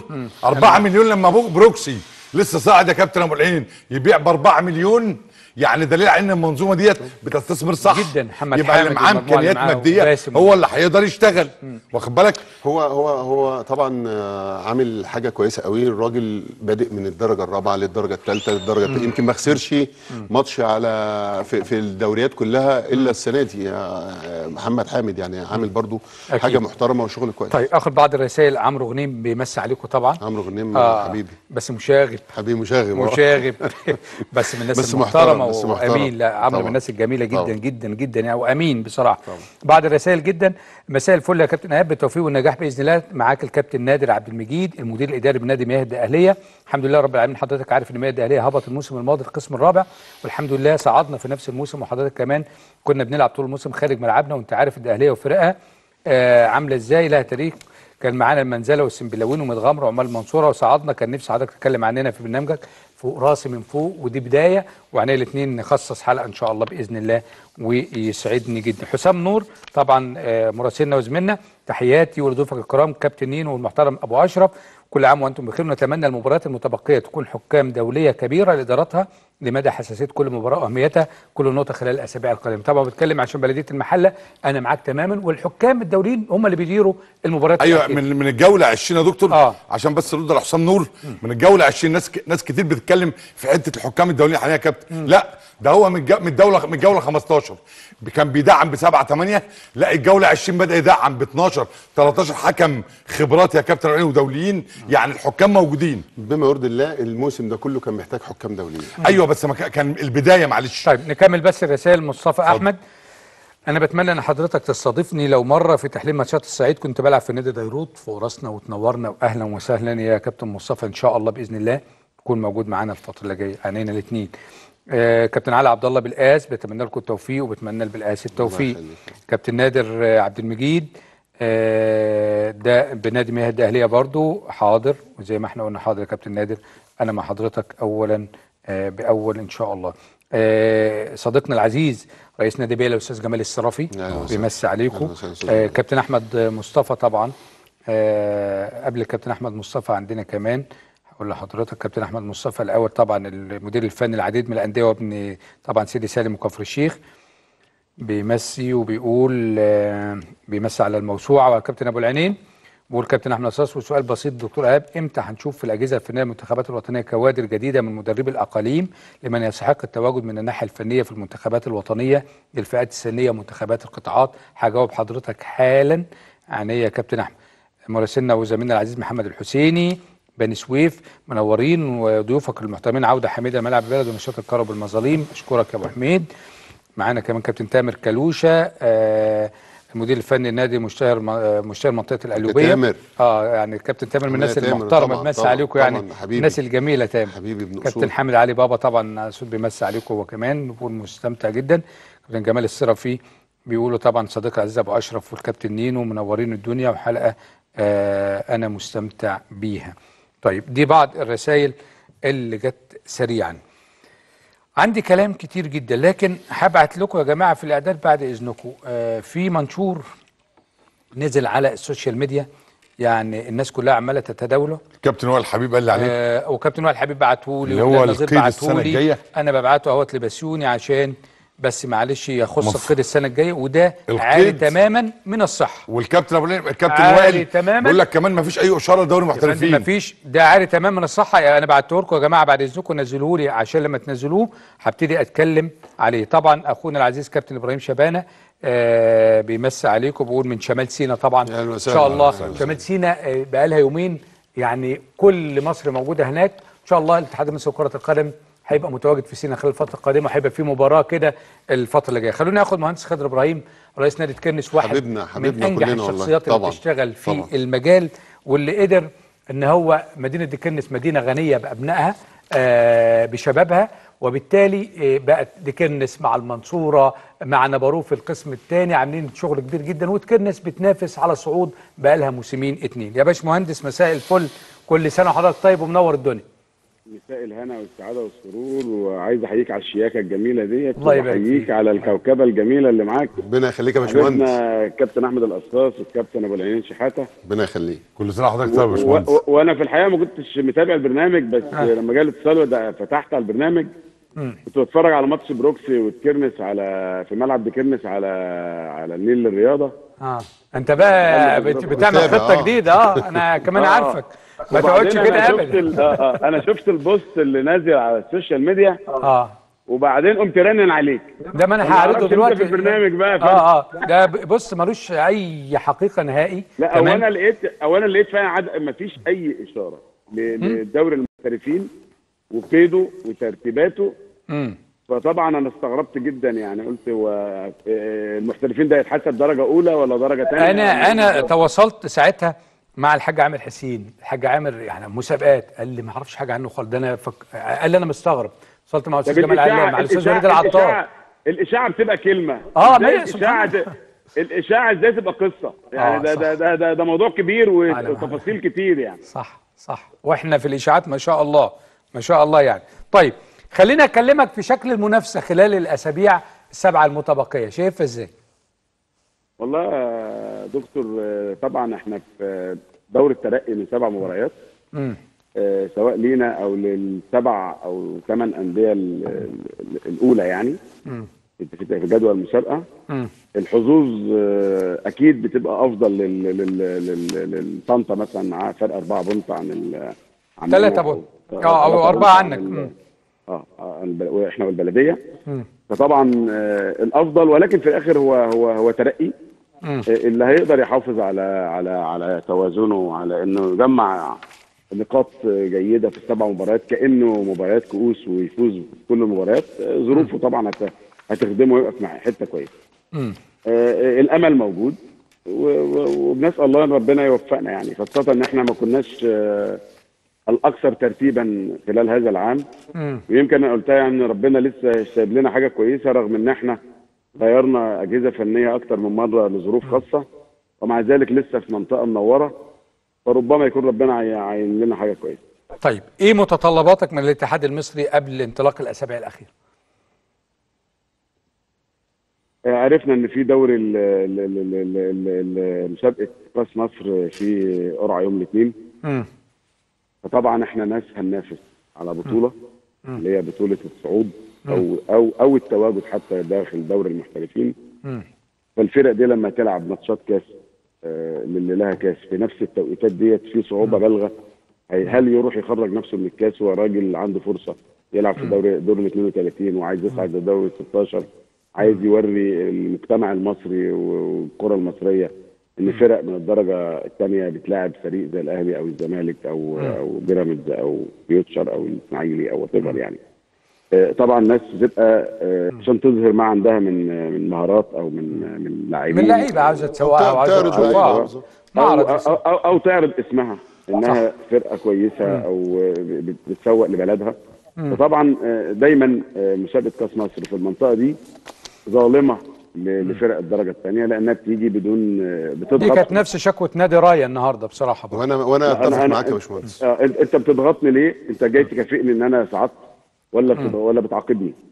الحاجة الثانية أنا هفضل إيه؟ أنا مش في الأول المسابقة عشان أفوت ماتش أو ألعب على تعادل في في, ماتش. فانا عايز أكسب كل ماتشاتي. فأنت النهارده بقت ماتشات الكاس مع ماتشات السبع مباريات المتبقية في الدوري كلها كاس. وما أعرفش أنت يعني هتعدل الجدول تاني إزاي وهتديني السبع أيام فرق بين ماتش وماتش عشان أحافظ على نفسي. فأعتقد إن الأمور عايزة تت- تتحسب. تمام. و- و- و- و- و- وتسمح لنا بالسبع أيام بغض النظر كان كاس ولا دوري. تمام. وصلت. أشكرك. شكرا جزيلا يا باشمهندس. وكل سنة وحضرتك طيب وبالتوفيق إن شاء الله. آه، عاوز تقول حاجة يا باشمهندس؟ طب ب- اتفضل. كابتن أبو العليم بس عاوز اوجه أنا, لك سؤال. بضيف بس على اللي قاله. الباشمهندس إنه لازم يكون في انصاف في حتة آه، دور ال 32 لكاس مصر. أنا آه، ما العبش ست سبع ماتشات عشان أوصل لدور ال 32 آه، كاس مصر. ومعيش إمكانيات. وأروح كمان ألاعب الفريق اللي اللي هيلاعبني في الدوري الممتاز على أرضه لازم يكون في قرعة في كل دول العالم بيحصل ده يا دكتور. شكرا يا باشمهندس.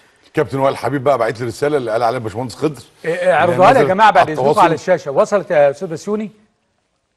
يا ريت تعرضوها لي يا طيب بعد إذنك. الكابتن وائل حبيب كده لنا عنده حق آه عرب هي بص اهي الأول اهي لأن اللي طبعا ده إشاعات في طب أقولها. بس الأول بعد إذنك يا أستاذ أحمد وأرجع لحضرتك تاني. المنشور اللي نزل النهارده آه، الاتحاد الكره ما عرفش عنه حاجة. رسميا اتحاد الكره يعلن شروط القيد للموسم الجديد. قرر الاتحاد المصري فتح باب القيد الأول الموسم المقبل يوم 1 يوليو الحالي حتى 9 سبتمبر المقبل ان تنتهي قوائم الإضافة القسم الأول في 20 سبتمبر والقسم الثاني 22 والثالث 24 سبتمبر والقسم الرابع 29 سبتمبر فيما يمتد قيد الناشئين. والصالات والنسائية حتى 7 أكتوبر المقبل بالإضافة للأسبوع الأول من كل شهر. كما تقرر أن تكون فترة التسجيل الثانية في الفترة من 1 يناير حتى 31 من الشهر نفسه. وبالنسبة لقوائم الأندية الموسم الجديد قرر الاتحاد المصري السماح لكل نادي بقيد 35 لاعب بالإضافة لخمس لاعبين مواليد 99 وما بعدها من اللاعبين الصاعدين بالنادي. إنما تحدد عدد اللاعبين الأجانب بخمسه لاعبين من ضمن المقيدين بالنسبة للقسم الأول ولاعبين اثنين للقسم الثاني ولاعب واحد للقسم الثالث على الأقل يعتبر لاعب الفلسطيني ضمن اللاعبين الأجانب ولا يسمح باشراك غير اللاعب المصري في مركز حراسه المرمى كما حدد الاتحاد المصري لكرة القدم مسابقات المراحل السنية مواليد 1 2001 يعني 2001 يعمل مسابقه. عنده عنده 23 عنده سنة 23 سنة. بقول له ناشئ يا راجل. حرام عليك ده يبقى يعني اللي قاعدين بقى ما يعني اللي نروح. كتب أو اللي آه 2001 ده- ده كده و3 و5 و6 و7 و8 و9 على نسبة بقت 35 لاعب لكل مرحلة. وبالنسبة للبراعم 2010 و11 و12 و13 على يتم تسجيل 50 لاعب لكل مرحلة سنية الكلام ده ارجعوا لي. الكلام ده غير صحيح بالمرة. بالمرة. ده آه، زي ما قال الباشمهندس خضر بنرمي الكلمة والإشاعة وتبقى منها قصة. مفيش حاجة من ده حصل خالص. تواصلت.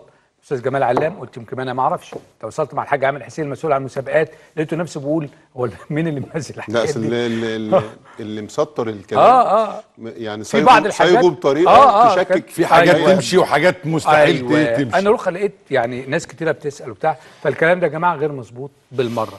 المراحل السنية بتاعت الناشئين غير مظبوطة بالمرة. أصلا ما يقعد لك واحد زي الكابتن وائل حبيب حبيب ده أنا مسميه عارف، آه. ديب القسم الثاني يقعد كده يا كابتن ها هو أحمد نبيل في الابوير. اتنين مفيش حاجة تفلت منهم فقاعدين لك. واخد بالك؟ فبقول لي بقول لهم لا الكلام ده مش مظبوط. زي الفل يا كابتن. وائل. طيب الدكتور خالد عفيفي رئيس نادي القناة خالص تقدير لحضرتك وضيوفك الكرام حلقة رائعة ومميزة كالعادة. رجاء التقارن بتناول موضوع أهمية الحيادية في التحكيم. خلال المباريات القادمة وتعيين حكام دوليين ذو خبرات حتى يستطيع كل نادي الحصول على حقه وعدم ضياع مجهود العام. كله بسبب أخطاء تحكيمية خالص الشكر أتفق معاه تماما. تقدير. تماما. آه. تماما. والكابتن محمد حليم عامل فرقة كويسة تماما. جداً. وعامل بس هو. عنده خسارة كبيرة حصلت الأيام اللي فاتت. بعد ما يجهز حسام باولو خلاص هيعمل عملية جراحية وهيغيب شهر. يعني ممكن يغيب لآخر الموسم. وده كان أحد أهم الأوراق عنده بالنسبة بص يا للتهديف. دكتور ال ال ده حتى دوري المظالم منزل. يا جماعة شيلوا المواقع خلوا فيه ثقة. يعني لازم آه فيكم. يتحرى الدقة يعني يعني. موقع دوري المظالم ده من المواقع الكبيرة فأرجوكم بلاش ال- الحاجات. طبعا أستاذ إعلام طبعا وصديقنا فرج الرئيس طبعا البحيرة. آه. آه كل عام وحضراتكم بخير على كابتن إبراهيم والاستاذ أحمد. وبعت لنا المنشور. قلنا خلاص ده المنشور ده غير صحيح بالمرة. جلال سالم كابتن جلال طبعا من دمياط. آه بيمسي عليكم. نتمنى الدوري المحترفين يطبق مصلحة كرة المصرية وكل سنة وأنتم طيبين وبخير. اتفضل آه، أتفق طبعا مع خالد بيه رئيس آه، نادي القناة. فط... اللي فات خلاص أخطاء التحكيمية كله تحملها سواء ليك أو عليك. الفترة اللي جاية لا تحتمل أي أخطاء. وأنا يعني لو كان في إمكانية إن يبقى في فار عشان ما يبقاش في ظلم كان ممكن. لكن مش ال- ال- ال- ال- اللي ممكن آه، اتحاد الكرة يعمله إن إحنا ننتقي الحكام الفترة اللي جاية عشان ده تعب موسم كامل وموسم صعب جدا. ومجموعة القاهرة بالذات يعني يعني مجموعة صعبة جدا ويقال فيها كلام كتير يا دكتور. فأنا أتفق معاك. دكتور محمد آه، يوسف طبعا وكيل وزارة الصحة بني سويف بيمسي عليك وصديق معالي العزيز. الوزير، لا، معالي الوزير، وأستاذ أحمد. آه، واحد آه، وبعدين بيشجع الاهلي إيه؟ بجنون. لا معالي الدكتور محمد شخصية يعني الشخصيات جميلة، الجميلة المحترمة يعني. اللي بتحظى يعني طبعا. باحترام الجميع تحياتي يا بصراحة. دكتور تحياتي. باحترام الجميع ربنا بصراحة. يخليك يا دكتور. طيب. آه، اتفضل. آه يا دكتور عاي- عايز أتكلم في حتة مهمة بالنسبة لل, لل... للصراع في. في الدوري. يعني عندك كابتن إيه؟ لغاية دلوقتي 70 مدرب. اتغيروا. عشان بس ندخل الحتة اللي عايز أنا وأنت. ال 70 مدرب دولت الناس مفكرة بعد مرور 23 جولة دول عدد كبير. لا مش عدد كبير. 34 نادي غيرهم و14 نادي احتفظوا. معظم. لو أنت بصيت في المجموعات يا كابتن الخمس فرق الأوائل هتلاقي أربعة منهم احتفظوا بالمدربين. لافينا الجونة بتروح أسيوط. النصر التعليم طبعا غير حسن عبد المنعم. مصر مقاصه طارق حجاج. أدي مجموعة القاهرة. يعني الأندية اللي احتفظت معظمها بالمدربين هي اللي. عندها استقرار اللي بتنافس. آه. هو هو موجود؟ القاهرة. ما هو موجود لأنه نجح. آه. زد. السكة الحديد طبعا غير أول موسم كان كابتن محمد صلاح. والاثنين مدربين ما حدش يختلف عليهم. وادي دجلة ايجور توليتش زي ما هو. القناة محمد حليم بتروجيت السيد عيد هو اللي غير. تمام كده؟ عندنا الاتصالات. الاتصالات. اتصالات جمعة مشهور. بس إحنا هنتكلم في الخمسة الأوائل. دولت أربعة منهم آه، ما غيروش وفرقة غيرت. تعال نروح لمجموعة البحري. طنطا ما غيرتش. عمرو أنور. جمهورية شبين عصام شعبان ما غيرش. بلديه المحلة احمد. عبد الله. أبو قير. ما غيرش. ده كيرنس بس اللي غير. أبو قير أيمن المزين ما غيرش. عشان كده أربع فرق أو خمسة يا كابتن بنفسوا على الصعود. دول 70 مدير فني. تعال بقى نروح لإيه؟ 70 مدير مدير فني يا كابتن.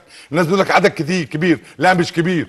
السنة الجاية السنة اللي فاتت في نفس التوقيت يا كابتن في الجولة 23 كان 112 مدير فني. الموسم اللي قبليه.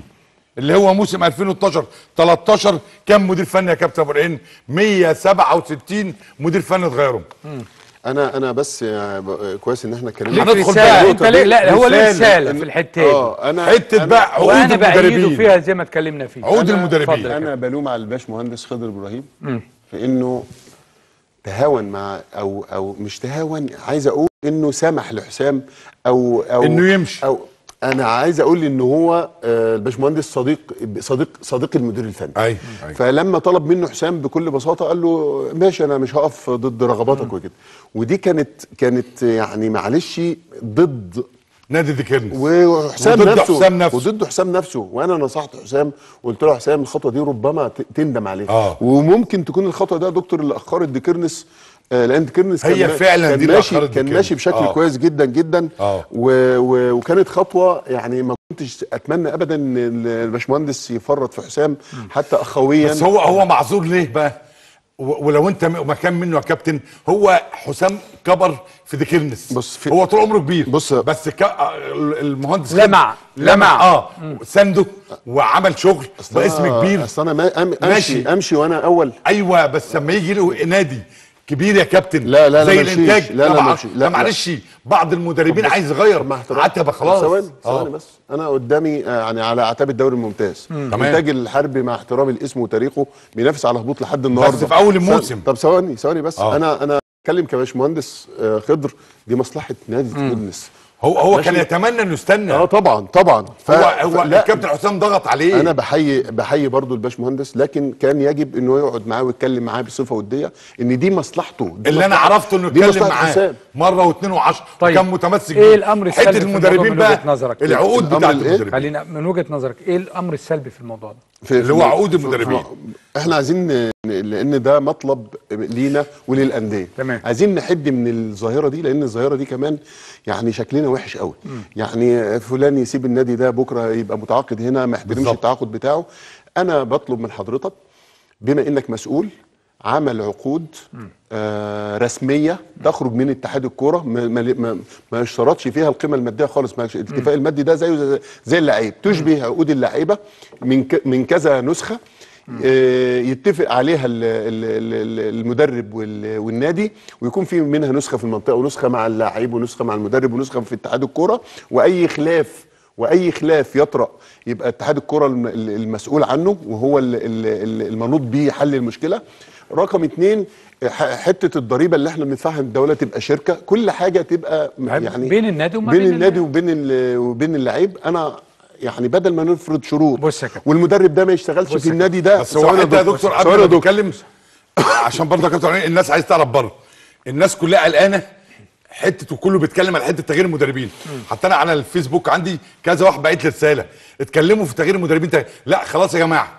الدكتور إيهاب معانا. كابتن ابو العين معانا. خلاص النهارده لكل الناس اللي بتسأل واللي بتبعت لي رسائل أو بتسأل بره أو في المجال كله بعد في بداية الدوري بداية من الجولة 24 في الممتاز به مفيش مدرب هيشتغل على الدكة يا جماعة إلا وهو موثق عقده بينه وبين الاتحاد. اللي ما عملش عقد خلاص هيركن بره مش هيشتغل. عشان الناس بره تبقى ده إيه؟ اللي بيقول لك الاتحاد ما بياخدش خطوة إيجابية. لا خده خلاص. دكتور. الدكتور هيبقى خلوني يوضح لك.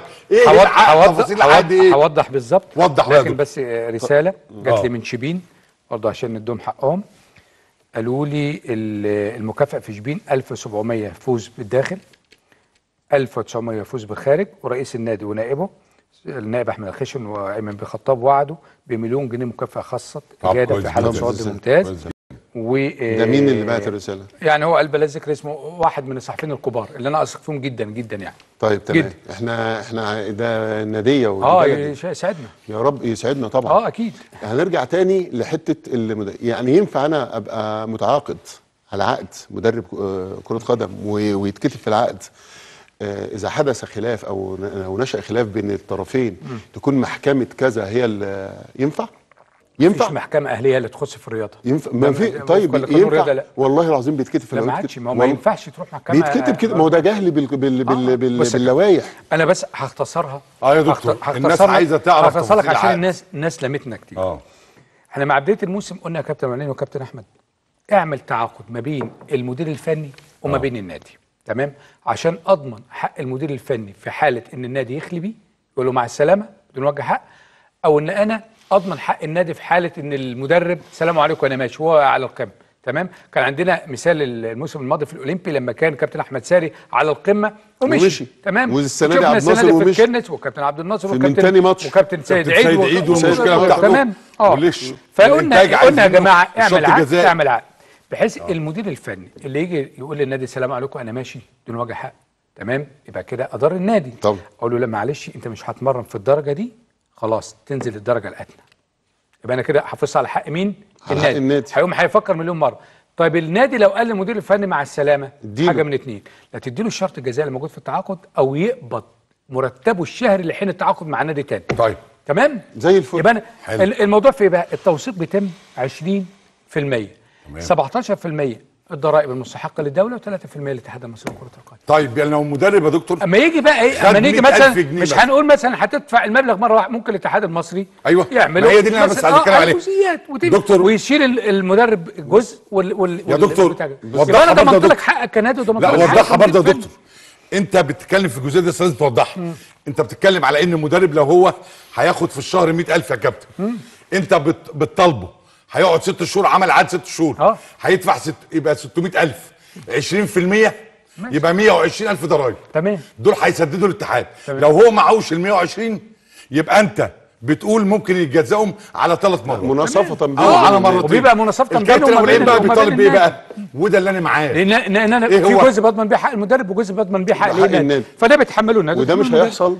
إلا رغم أيوة. انف الجميع بس بص يا دكتور، عنك. جينا بقى إحنا لقينا الله ينور عليك لأن إحنا لقينا لما المدربين جينا يلا يا جماعة نعمل ما لقيناش العقود موثقة مفيش حاجة تمسكها فيها ما تقعدش على زي ما. أنت قلت بقى رغم ه- الجميع. آه، آه، زي ما أنت قلت آه. من الدو من ال وال ومأكد الأستاذ جمال الحاج 24. عامر بصفته في المسابقات تمام إن هنيجي من من الجولة اللي جاية أي مدير فني- ما, ينفعش بقى تكتب في ال score اللي أنت مثلا إيه لا ثواني آه طبيب ثواني. اللي أنت مش عارف أيوه. ثواني ودي لازم يتحط لها بند أيوة. أنا مدير فني مدير يبقى أنا فني. موثق في اتحاد الكره مدير, مدير فني, فني أنا مدلك يبقى أنا حطكش في مدلك ال score مدلك عشان أيوة، تقعد بس خلاص. فوق لغ- لأن أنا بضمن لك حقك كمدير فني بال- وبرضه حاجة. تانية يا دكتور عشان المدربين ما ي... يعني ما ياخدوش الأمر صعب عليهم لا الدكتور إيهاب يا جماعة قال إن التوثيق العقد ممكن ياخد 24 ساعة.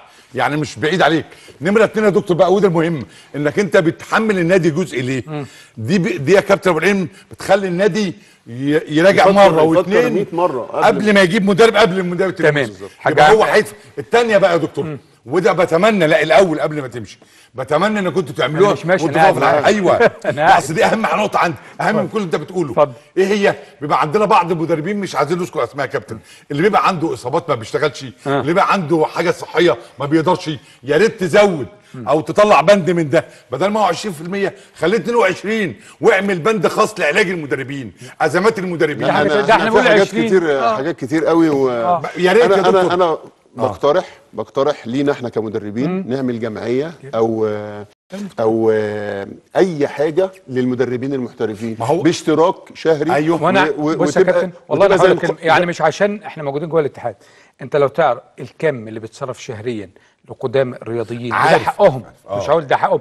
المريض بتاع ده إن ده نجم وفانا عمره. مش هتصدق الرقم ليه محمود. التوني الحكم لا ده حقه بتاع شمال سيناء بنتمنى له طبعا الشفاء مصطفى. عايش قال لي. صرفوا له الإعانة بنتمنى له الشفاء آه. بنتمنى له الشفاء ده لو, حقه لو عاملين جمعية بس للمدربين ويساهم ويس- الاتحاد بنسبة فيها خلي بالك يا. دكتور يا كابتن ابو العين والله العظيم لو أنتوا عملتوها زي الكابتن مبهول. شهرية ما حدش هيدفع. انت تلزمه في العقد. ما هو من من ضمن في عقد العقد عارف من ضمن التعاقد آه، ده؟ هتلزمه انه يدفع. تلزمه يدفع إيه ولا إيه؟ هيدفع. لا يا كابتن. ما إحنا بنقول اهو بص يا أستاذ احمد خليها أقول لك أنا 22% استنى نقابة المهن عليها كام يا دكتور؟ آه. قول لي كده النسبة كام؟ مش واحد عارف ونص بالظبط. واحد ونص في المية. و3% اتحاد الكرة و17% ضرايب. آه وهرجع تاني لل... أيوة. وهرجع تاني ل 14 ونص الضريبة اللي هي بتاعت الدولة ليه؟ يعني يا كابتن ما انت ما جاتش على 2% لما تضيفهم على 20 22 النادي هيدفع نص وانت انت نص هتصب في مصلحتك. تبقى إجباري. في مصلحتك انت تصب في أيوه مصلحتك. طب آه ما ما هي النقابه بقى. يبقى في النقابة ما هي موجودة. النقابة مش هتعمل يا كابتن ابو العين طب أنا بقول لك لا، لا، اتحاد الكورة كل. شهر والله. أنا عضو يا نقابة يا كابتن. ما يعملش ديت إلا الأب. الأب الشرعي للعبة. اتحاد الكورة. يتولى ديت ويعملها 22% يا دكتور. ماشي. وتعمله زي ما قلنا قبل كده. هي بص يا كابتن أبو العينين. بص يا بص يا دكتور طالما. كابتن أبو العينين. يا دكتور. واللعيبة أرجوك يا دكتور. خلي اتحاد الكورة يعملها خد جزء من عقد اللعيب. بحيث إنك أنت تعمل إدارة طبية يعالج آلاف اللعيبة. والله يعني أنا بشكر الدكتور الدكتور محمد أبو العلا طبيب المنتخب. حاج محمد أبو الوفا بصراحة كلمة عمل مبادرة اللاعب اللي مش قادر بنحوله للدكتور أبو العلا. وأنا حولت له كان عمره ما لأ. دكتور والله عمره ما قال لا اولا أنتوا. أنتوا بص الناس ديت على عيننا وعراسنا. بس حاجة منظمة. أنا. نفسي في حاجة منظمة. أيوه حاجة منظمة بحيث إن طيب. اللعيب ما يحسش آخد بس بعد الرسائل تمام. سر- سريعا. آه. الحاج عامر حسين بعت لي بيقول انفي الكلام الخاص بالخبر اللي نازل. على لسان نفينا طبعا. حاج عامر. آه نفينا طبعا. بس الحاج الحاج عامر الحاج عامر هو. مسؤول مسابقات. والراجل يعني هو. أي حاجة من دي اللي بيحدد واللي بيعمل بيرجع هو اللي عايزين حدث ولا حرج. الحاج عايزين عامر عايزين نتكلم. الأستاذ أحمد. بيسألك دوري المحترفين هيطبق ولا آه، لا؟ الحاج أيوة. عامر قال لي هيطبق. ريح نفسك. هو الحاج بص الحاج عامر كابتن، قاعدين. عارف لما تلاقي واحد زي الحاج عامر ومن زمان مش دلوقتي في المنظومة أنت بتطمئن. ده مش أي واحد. الحقيقة لا المجموعة كلها أول مرة أحس إن هي قريبة أيوه أيوه بس الحاج عامر قريبة تحديدا للناس كلها. الحاج عامر تحديدا طول عمره بيشتغل تطمئن. راجل هو حاطط عينيه هوضح حاجة. بس آه، فيما يخص تاني بقول مرة تانية آه. آه، في شبين المكافأة. فوز في الداخل 1700 1900 فوز بالخارج مليون جنيه لما اتكلموا جماعة هنا هم أشادوا بإدارة شبين اللي هي في ظل الإمكانيات طبعاً. اللي على آخرها طبعاً ده نجاح ليهم. يحققوا نجاح سواء كان في شبين أو في طنطا فهم الكلام كان مؤيد لمجلس الإدارة عشان بس ما حدش يفهم الكلام بال لا، لا خالص، بالعكس. آه طبعا آه عندنا آه النائب أحمد الخشن أيمن خطاب الناس كلهم، آه أيضا الحاج محمود. الخياط وكل المجموعة دولت أصدقائنا وعاملين. مجهود طبعاً. غير عادي إحنا زي الأستاذ. زعريبي وزي الأستاذ محمد أبو فريخة وزي شمس وزي د- صدقي وزي العواني وزي المجموعة وسويلم والمجموعة كلها اللي موجودة في نادي طنطا فيا جماعة إحنا معاهم قلبا وقالبا مع شبين ومع طنطا ومع الكنس ومع البلدية. مصطفى طبعا الشامي ال- ومع العميد بسيوني في المنصورة. دي الأندية الجماهيريه ايمن السمودي في في ابويل مدحت الاسمده مدحت. سمودي طبعا أخونا العزيز. لا الناس عاملة أحمد نبيل شغل. على آه، اعلى ومحمد. حامد في بروكسي. والحاجة خالد طيب أنا بس برضو عندي بعض الرسائل. أستاذ مشار رجب رزق رئيس نادي شبان هنا.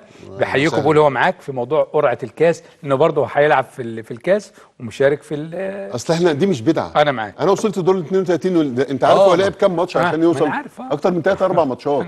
أنا كمان أسافر من هنا هو الحاج عامر متابع معانا ومعانا أول باول يا حاج عامر أنا التليفون فصل. وفين الإثارة بقى؟ آه، يعني لما لما ده. مثلا شبان هنا ده يجي له قرعته مع الأهلي. والاهلي ده يسافر يلعب في أسوان. في استاد أسوان اللي مثلا. مع شبان هنا في استاد هنا عندهم استاد هنا مثلا. طيب كابتن محمد الغرابلي بيمسي عليكم أستاذ صبحي شعبان الشمباري طبعا أستاذنا العزيز وصديقنا الغالي. آه بقول منورين ومستمتع بالحلقة. إحنا اللي بنشكركم جميعا على هذا التواجد طيب يا ايهاب بس. شبين تكون برضه عشان الناس تبقى عارفة جمهور شبين. الكابتن عصام شعبان كذا مرة قال في بداية الموسم كانت المكافأة 1000 أنا أنا أنا لا اعتراض على زادت. بقى؟ هي زادت, مع, ما مع زادتش. الأدوار اللي جاية. لا هي القصة مش عندي كده. وخلي بالك اتنين مدربين هم اللي دايما يتكلموا في الحتة ديت. نادر السيد والكابتن عصام شعبان. أنا ما بنتكلمش على 1000 جنيه 10 بس المهم في الميعاد الم... آه، خلاص. الماتش يتم الصرف. بص يا أستاذ أحمد آه، آه، مجلس إدارة جمهورية شبين مجلس أنا اشتغلت معاه. مجلس إدارة على أعلى لا، مستوى. لا، لا، لا، هم ناس أقسم بالله على أعلى مستوى. بص الجماهير اللي بتحرك الصخر اللي مليانة جمهور ده حاجة تانية. أنا بكلمك- ده نجوم رقم واحد على مستوى الملعب بيبقى مليان على جمهورية. شبين كانت الشرارة لاتحاد الكرة نفسه إنه يسيب الجمهور. يدخل ال- ال- الماتشات دي. الجمهورية بقى لها كام ماتش؟ بتفوز في الدقيقة كام؟ في الدقيقة 95 لا، وده سبب مين؟ سبب مين؟ سبب مين؟ الجماهير اللي وراها. أنا بقول لك شبين الملعب بيبقى مليان طنطا جوه وبره ما بيسيبهمش ده- المنصورة البلدية دي كلمة انت عندك اللي هو محمد عبد الصديق الحمام. الغالي الأخويا الحبيب اللي هو محمد عمار آه. مدير امن الغربية آه. يعني راح طنطا كانت مكسب لطنطا الجمهور بيخش ويطلع أكيد. في أمان حاجة منظمة. مفيش أي هو صلاح بيه سالم حاجة جميلة شوبير ووليد بيه العز والمجموعة كلهم حاجة جميلة. مفيش مشاكل في القسم الثاني في الجمهور إحنا- حاجة لذيذة. بص ده ده الجمهور بقى اللي عشق الكورة. واضح ان كلامنا اتفهم برضو بطريقة لا، ما. خلاص لا، إحنا بالعكس. آه بالعكس. إحنا بن- بنتكلم في تشجيع الفرق الجماهيرية. في آه. في انت كمل جميلك. يعني انت خلاص انت حطيت خطوة. يعني معلش لو ما فيش ادفع من جيبك دلوقتي ما فيش مشكلة. طيب. في المجموعة الثانية عاوزكم تقولوا لي المنافسة جديدة. آه زد كل أسبوع تلاقي دي طالعه ونازل القناة بعد ما كان يعني متربع على القمة لاسابيع عديدة تنازل عنها. وزد شوية والسكة الحديد شوية مع أمير ويرجع مرة تانية ومجدي عبد العاطي بلدياتك وقريبك. طبعا. طبعا. طبعا كابتن وصديقك. وعشره طبعاً، عمرك. طبعا. وأمير عزمي عامل شغل هايل صديق هو عزيز. القناه كابتن حليم. بصراحة على فكرة أنا سعيد جدا بال- بالمنافسة دي يعني مجدي جيلي آه، أمير آه، عزمي جيلي كابتن سيد عيد مع كابتن سيد- بتروجيت رجع كابتن سيد عيد.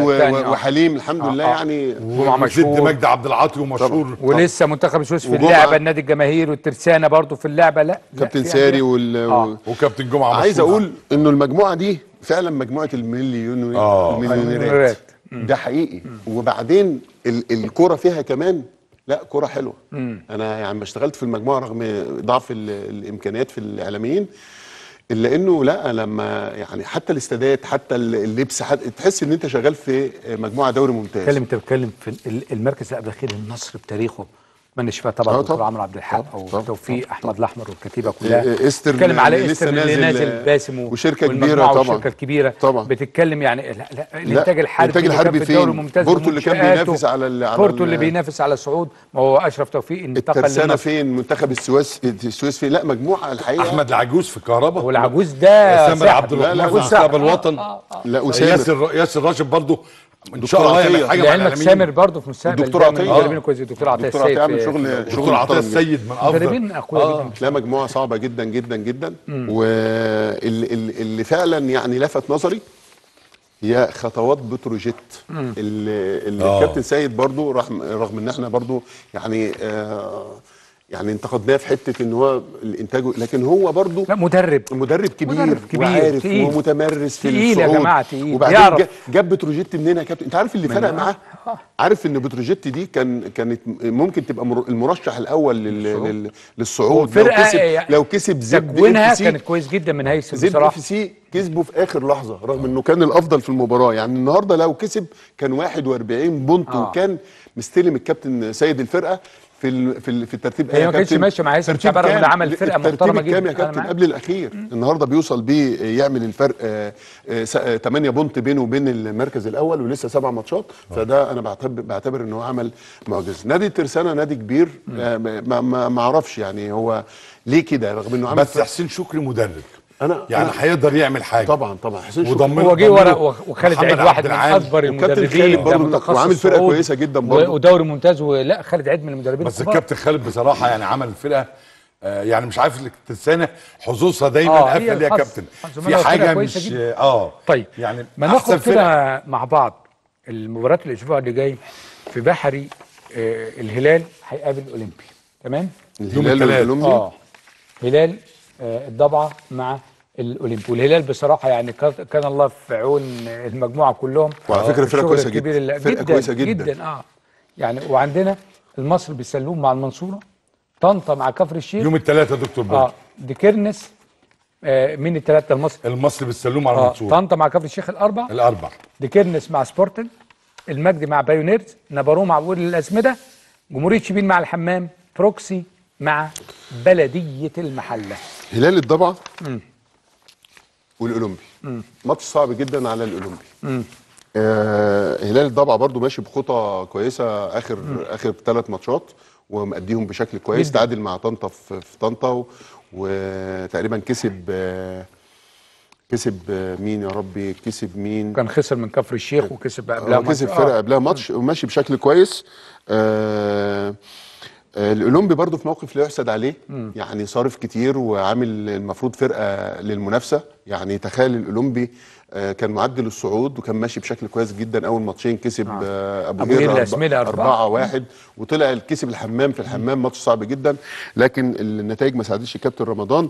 بينافس النهارده على آه، ال ال ال يا دوب الدخول في الخمسة. التواجد في الخمسة. وكمان موقف موقف ضعيف. فماتش صعب جدا. آه، على الأولمبي لأن الهلال كمان بيحاول يحسن ال- الأداء بتاعه. مصر بالسلوم وال وال والمنصورة طبعا إحنا عارفين إن قصة مصر السلوم إن نادي امبي ناشئين وكده بس لكن حلوة لعلمك جدا لكن يعني هي ال- ال- الموضوع معمول عشان أطلع يعني أستفاد باثنين ثلاثة ناشئين مش علشان لكن أنا عشان أحافظ على ال ال ال النادي اللي أنا واخده كمان والمركز اللي, المفروض أبقى فيه كان لازم أدعم بلاعيبه كبار. كان لازم أدعم بلاعيبه زي كبار. مع سيراميكا كليوباترا مع ديروت في الصعيد مع ديروت آه، لازم ألعب أدعم. أدعم أجيب بقى زي. ضيا وزي الخبرات اللي كانوا. موجودين ونحط- بالظبط كده. يمكن اللي نفع ديروت هي. يناير. آه. لأنه ضاف خمس ست لعيبة كويسين والنتائج ما شاء الله مع علاء آه، ماشيه بشكل كويس. المنصورة آه، ال- ال- ال- المنصورة يعني بدأ كويس جدا وبشكل كويس جدا مع ساري. نتائج النتائج تراجعت بشكل ملحوظ. وياسر كناني اسم كبير. وياسر الكناني طبعا هيرجع بالفرقة. اتعرض عليه أندية في الفترة دي وما رضيش ما رضيش. يتخلى عن عن ناديه إيه، طنطا طبعا وكفر الشيخ إمكانيات ماديه ضعيفة جدا وأندية جماهيرية. بنحيي طبعا هنا آه، نادي طنطا. ولولا المشاكل برضو في كفر الشيخ أيوة. كان ممكن يبقى ليهم شأن في في جدول الدوري. طنطا في حالة فوزها بالمباراة دي. لا. تقربوا كتير. تقربوا كتير. آه ديكيرنس برضو مع الباشمهندس زي ما اتفقنا واتكلمنا كتير عن ديكيرنس وعلى مشكلة حسام عبد العال. آه نادي سبورتنج مع أحمد آه فاروق. آه، فاروق. فاروق آه بصراحة أنا بحييه يعني بإمكانيات قليلة جدا. وال- ما وال- عندوش خالص. والاستقرار. ما ينفعش أقول لي حتة جبنة. آه، لا بس كرواسون. فعلاً كرواسون. ما عندهمش يزعل من. الحاج عامر يعني- كرواسون. لكن الحاج أنا عامر بس يعني بقول له إيه؟ سبورتنج ده سند نادي أحمد شوية. أحمد مدرب كويس. أنا من الناس الجميلة جدا. الحاج عامر بصراحة يعني إيه بيتعب معاه. بس في حدود عشان هو الحاج. عامر بعيد ولكن هو نادي سبورتنج. آه، بحييه ولولا آه، نظام الهبوط والصعود السنة دي نادي سبورتنج كان قاعد برضو في في الدوري. أنا معاك. آه، نادي المجد برضو مع بايونيرز علامات استفهام كتيرة جدا. نادي المجد إنها بشكل كويس ال- ال- ال- الموسم اللي فات. الماضي. الموسم اللي فات لكن السنة دي برضو ب- يعني خيانة عدد من المدربين بصراحة. و... والإمكانيات المادية ما خلينا خلينا متفقين. نادي بايونيرز عليه 100 علامة استفهام طبعا. فرقة اتعملت إعداد كويس واتكونت كويس لكن سوء النتائج آه، واضح نبارو بحييهم برضو آه، أبو قير الاسمده بحيي كابتن الكابتن امل. المزين وبحيي الإدارة بص أنت عندك ثلاث ماتشات بروكسي بروكسي. بلدية المحلة والبلدية شبين، وجمهورية شبين ونبارو والحمام وابوير ونبارو للاسمده وأبوير. وتكن سبورتنج وطنطا دول ثلاث ماتشات آه يحددوا شكل ال- ال- المجموعة دي هتبقى المجموعة عاملة. إزاي آه وخصوصا ماتش آه، بروكسي وبلدية المحلة وبلدية- بروكسي آه. فرقة تقيلة قوي وبلدية المحلة فرقة تقيلة قوي والملعب رخم هناك. جدا وإصرارهم برضو على أحمد عبد الرؤوف ده, ده شيء جميل طبعاً. جدا آه. لانهم المدربين الابقاء المدرب ده يا دكتور آه، من اهم عناصر النجاح. إحنا لو بصينا للمجموعة هتلاقي اللي ماشي بشكل كويس هو اللي, اللي مستقر على ال على ال على المدرب. على المدرب بتاعه. المدرب بتاعه أنا معاك. طيب أستاذ أحمد المجموعة اللي بعد كده هتبقى يوم الخميس اسمنت اسيوط هيتقابل مع المنيا تليفونات بني سويف مع المدينة المنورة النصر التعدين مع مصر المقاصه شبان قنا مع ديروت مركز شباب طامية مع كيما أسوان ملاوي مع لافيينا. والجونة مع بترول أسيوط والفيوم مع الألومنيوم. طبعا آه كيما مساكها كابتن عيد مرازي عيد مرازيق آه. آه. والفيوم مع الألومنيوم. الجونة الألومنيوم كابتن عبد الرحيم همام. الجونة وبترول أسيوط برضو دي مباراة القمة هذا الأسبوع في هذه المجموعة لأن عندنا الجونة آه 50 نقطة وبترول أسيوط 47 نقطة. آه. الفايز فيها بست نقط. لا عندك عندك برضو المستفاد في الماتش ده؟ لافيين لافين لافين. لأنه خلص الفرقتين. خلص الفرقتين الاثنين وعنده مين الماتشره عنده ملاوي. عنده مل... وملاوي في آه المركز ملاوي. 14 ملاوي في 18 نقطة. ما- ماتشات لافينا الم- تعتبر أسهل بكتير. أسهل. المجموعة دي يا دكتور يا كابتن فيها ماتشين مهمين جدا. هحددوا برضو شكل المجموعة ديت.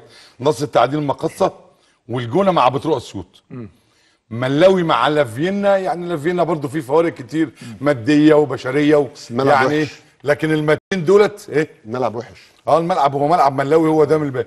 زي ملعب آه. الحمام كده في ملاعب ملعب أبو قير القديم في ملاعب كده زي ما بيقولوا كمين كمين. ما تقدرش ت... بس في حاجة أنا آه، يعني آه، كنت بكلم الكابتن وائل فيها قال لي لا إحنا عندنا آه، آه، لعيبة للملاعب الوحشة.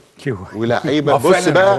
لما يكون معاك مدير كورة آه، بقول لا، لك يكون معاك وائل مدير كورة آه, عفريت. آه طبعا طبعا لأن لأن واحد حابب حابب الإدارة مهمة. جدا وائل. أو احمد آه، نبيل. كابوس إحنا. جبنا لعيب من آه. القناطر مخصوص آه، عشان للماتشات دي دي. ما بيلعبش إلا الماتشات دي طويلة تذاكر الكرة الطويلة اتزحلق الكرة اتزحلق. الثانية الكلام ده كله دكتور قبل ما نروحوا بقى للم... ما تكمل المجموعة المجموعة الثالثه آه. في حاجة مهمة جدا عشان الناس تبقى عارفة آه لغاية دلوقتي بعد نهاية طبعا الجولة 23 في بعض الناشئين بقوا اوراق أوراق رابحة مع الفرقة بتاعتهم. تمام. يعني هم حسموا الفرقة بتاعتهم. الناشئين لسه طالعين. لازم نلقي الضوء عليهم. ليه؟ هم دول فعلا يلعبوا ممتاز مستريح. دول أبرز لعيبة إحنا اخترناهم. أنا والمجموعة معايا. طبعا آه، أسامة محمود و... والأستاذ مدحت السيد المجموعة بحالها. اخترنا محمود مقلد ده لاعب جمهورية شبين مواليد 2000 محمد صبري لاعب بروكسي. ده defender. محمد عاطف لاعب طنطا. هاني الطامي لاعب المنصورة وده الأهلي بدأ يشتغل. عايزين آه عايزينه. أحمد محارب لاعب كفر الشيخ. يوسف مبروك لاعب الإعلاميين. رشاد المتولي لاعب بتروجيت. أحمد ربيع لاعب السكه الحديد محمد سيد لاعب إيسترن كومباني محمد مسعد لاعب منتخب السويس. عبد الله كامل لاعب أسمنت أسيوط. يوسف مظهر لاعب مصر المقصه مواليد 2000 وده مهاجم. حمادة فاروق لاعب مصر المقصه عبد الله شرقية لاعب كيما أسوان ويوسف شعبان ده لاعب الالومنيوم وده متخصص في تسديد ضربات ترجيح. طيب بس هرجع مرة تانية للسؤال اللي كان قاله الكابتن أحمد مصطفى بالنسبة لأبناء الآخرين من المدربين في المنتخبات.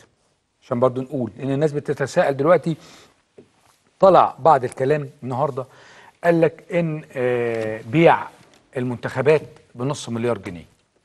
تمام؟ الكلام ده اتقال النهاردة. فأنا برضو عاوز أوضح الصورة. طب هل ما ما أنا آسف. السؤال ده منطقي؟ غير منطقي بالمرة. تمام. بص يا فندم. وزارة الشباب والرياضة ممثلة في الدولة عاوزة تدعم قطاعات الناشئين بإن أنت تعرف تصرف عليها ويبقى عندك أريحية. فعملت صندوق تمام؟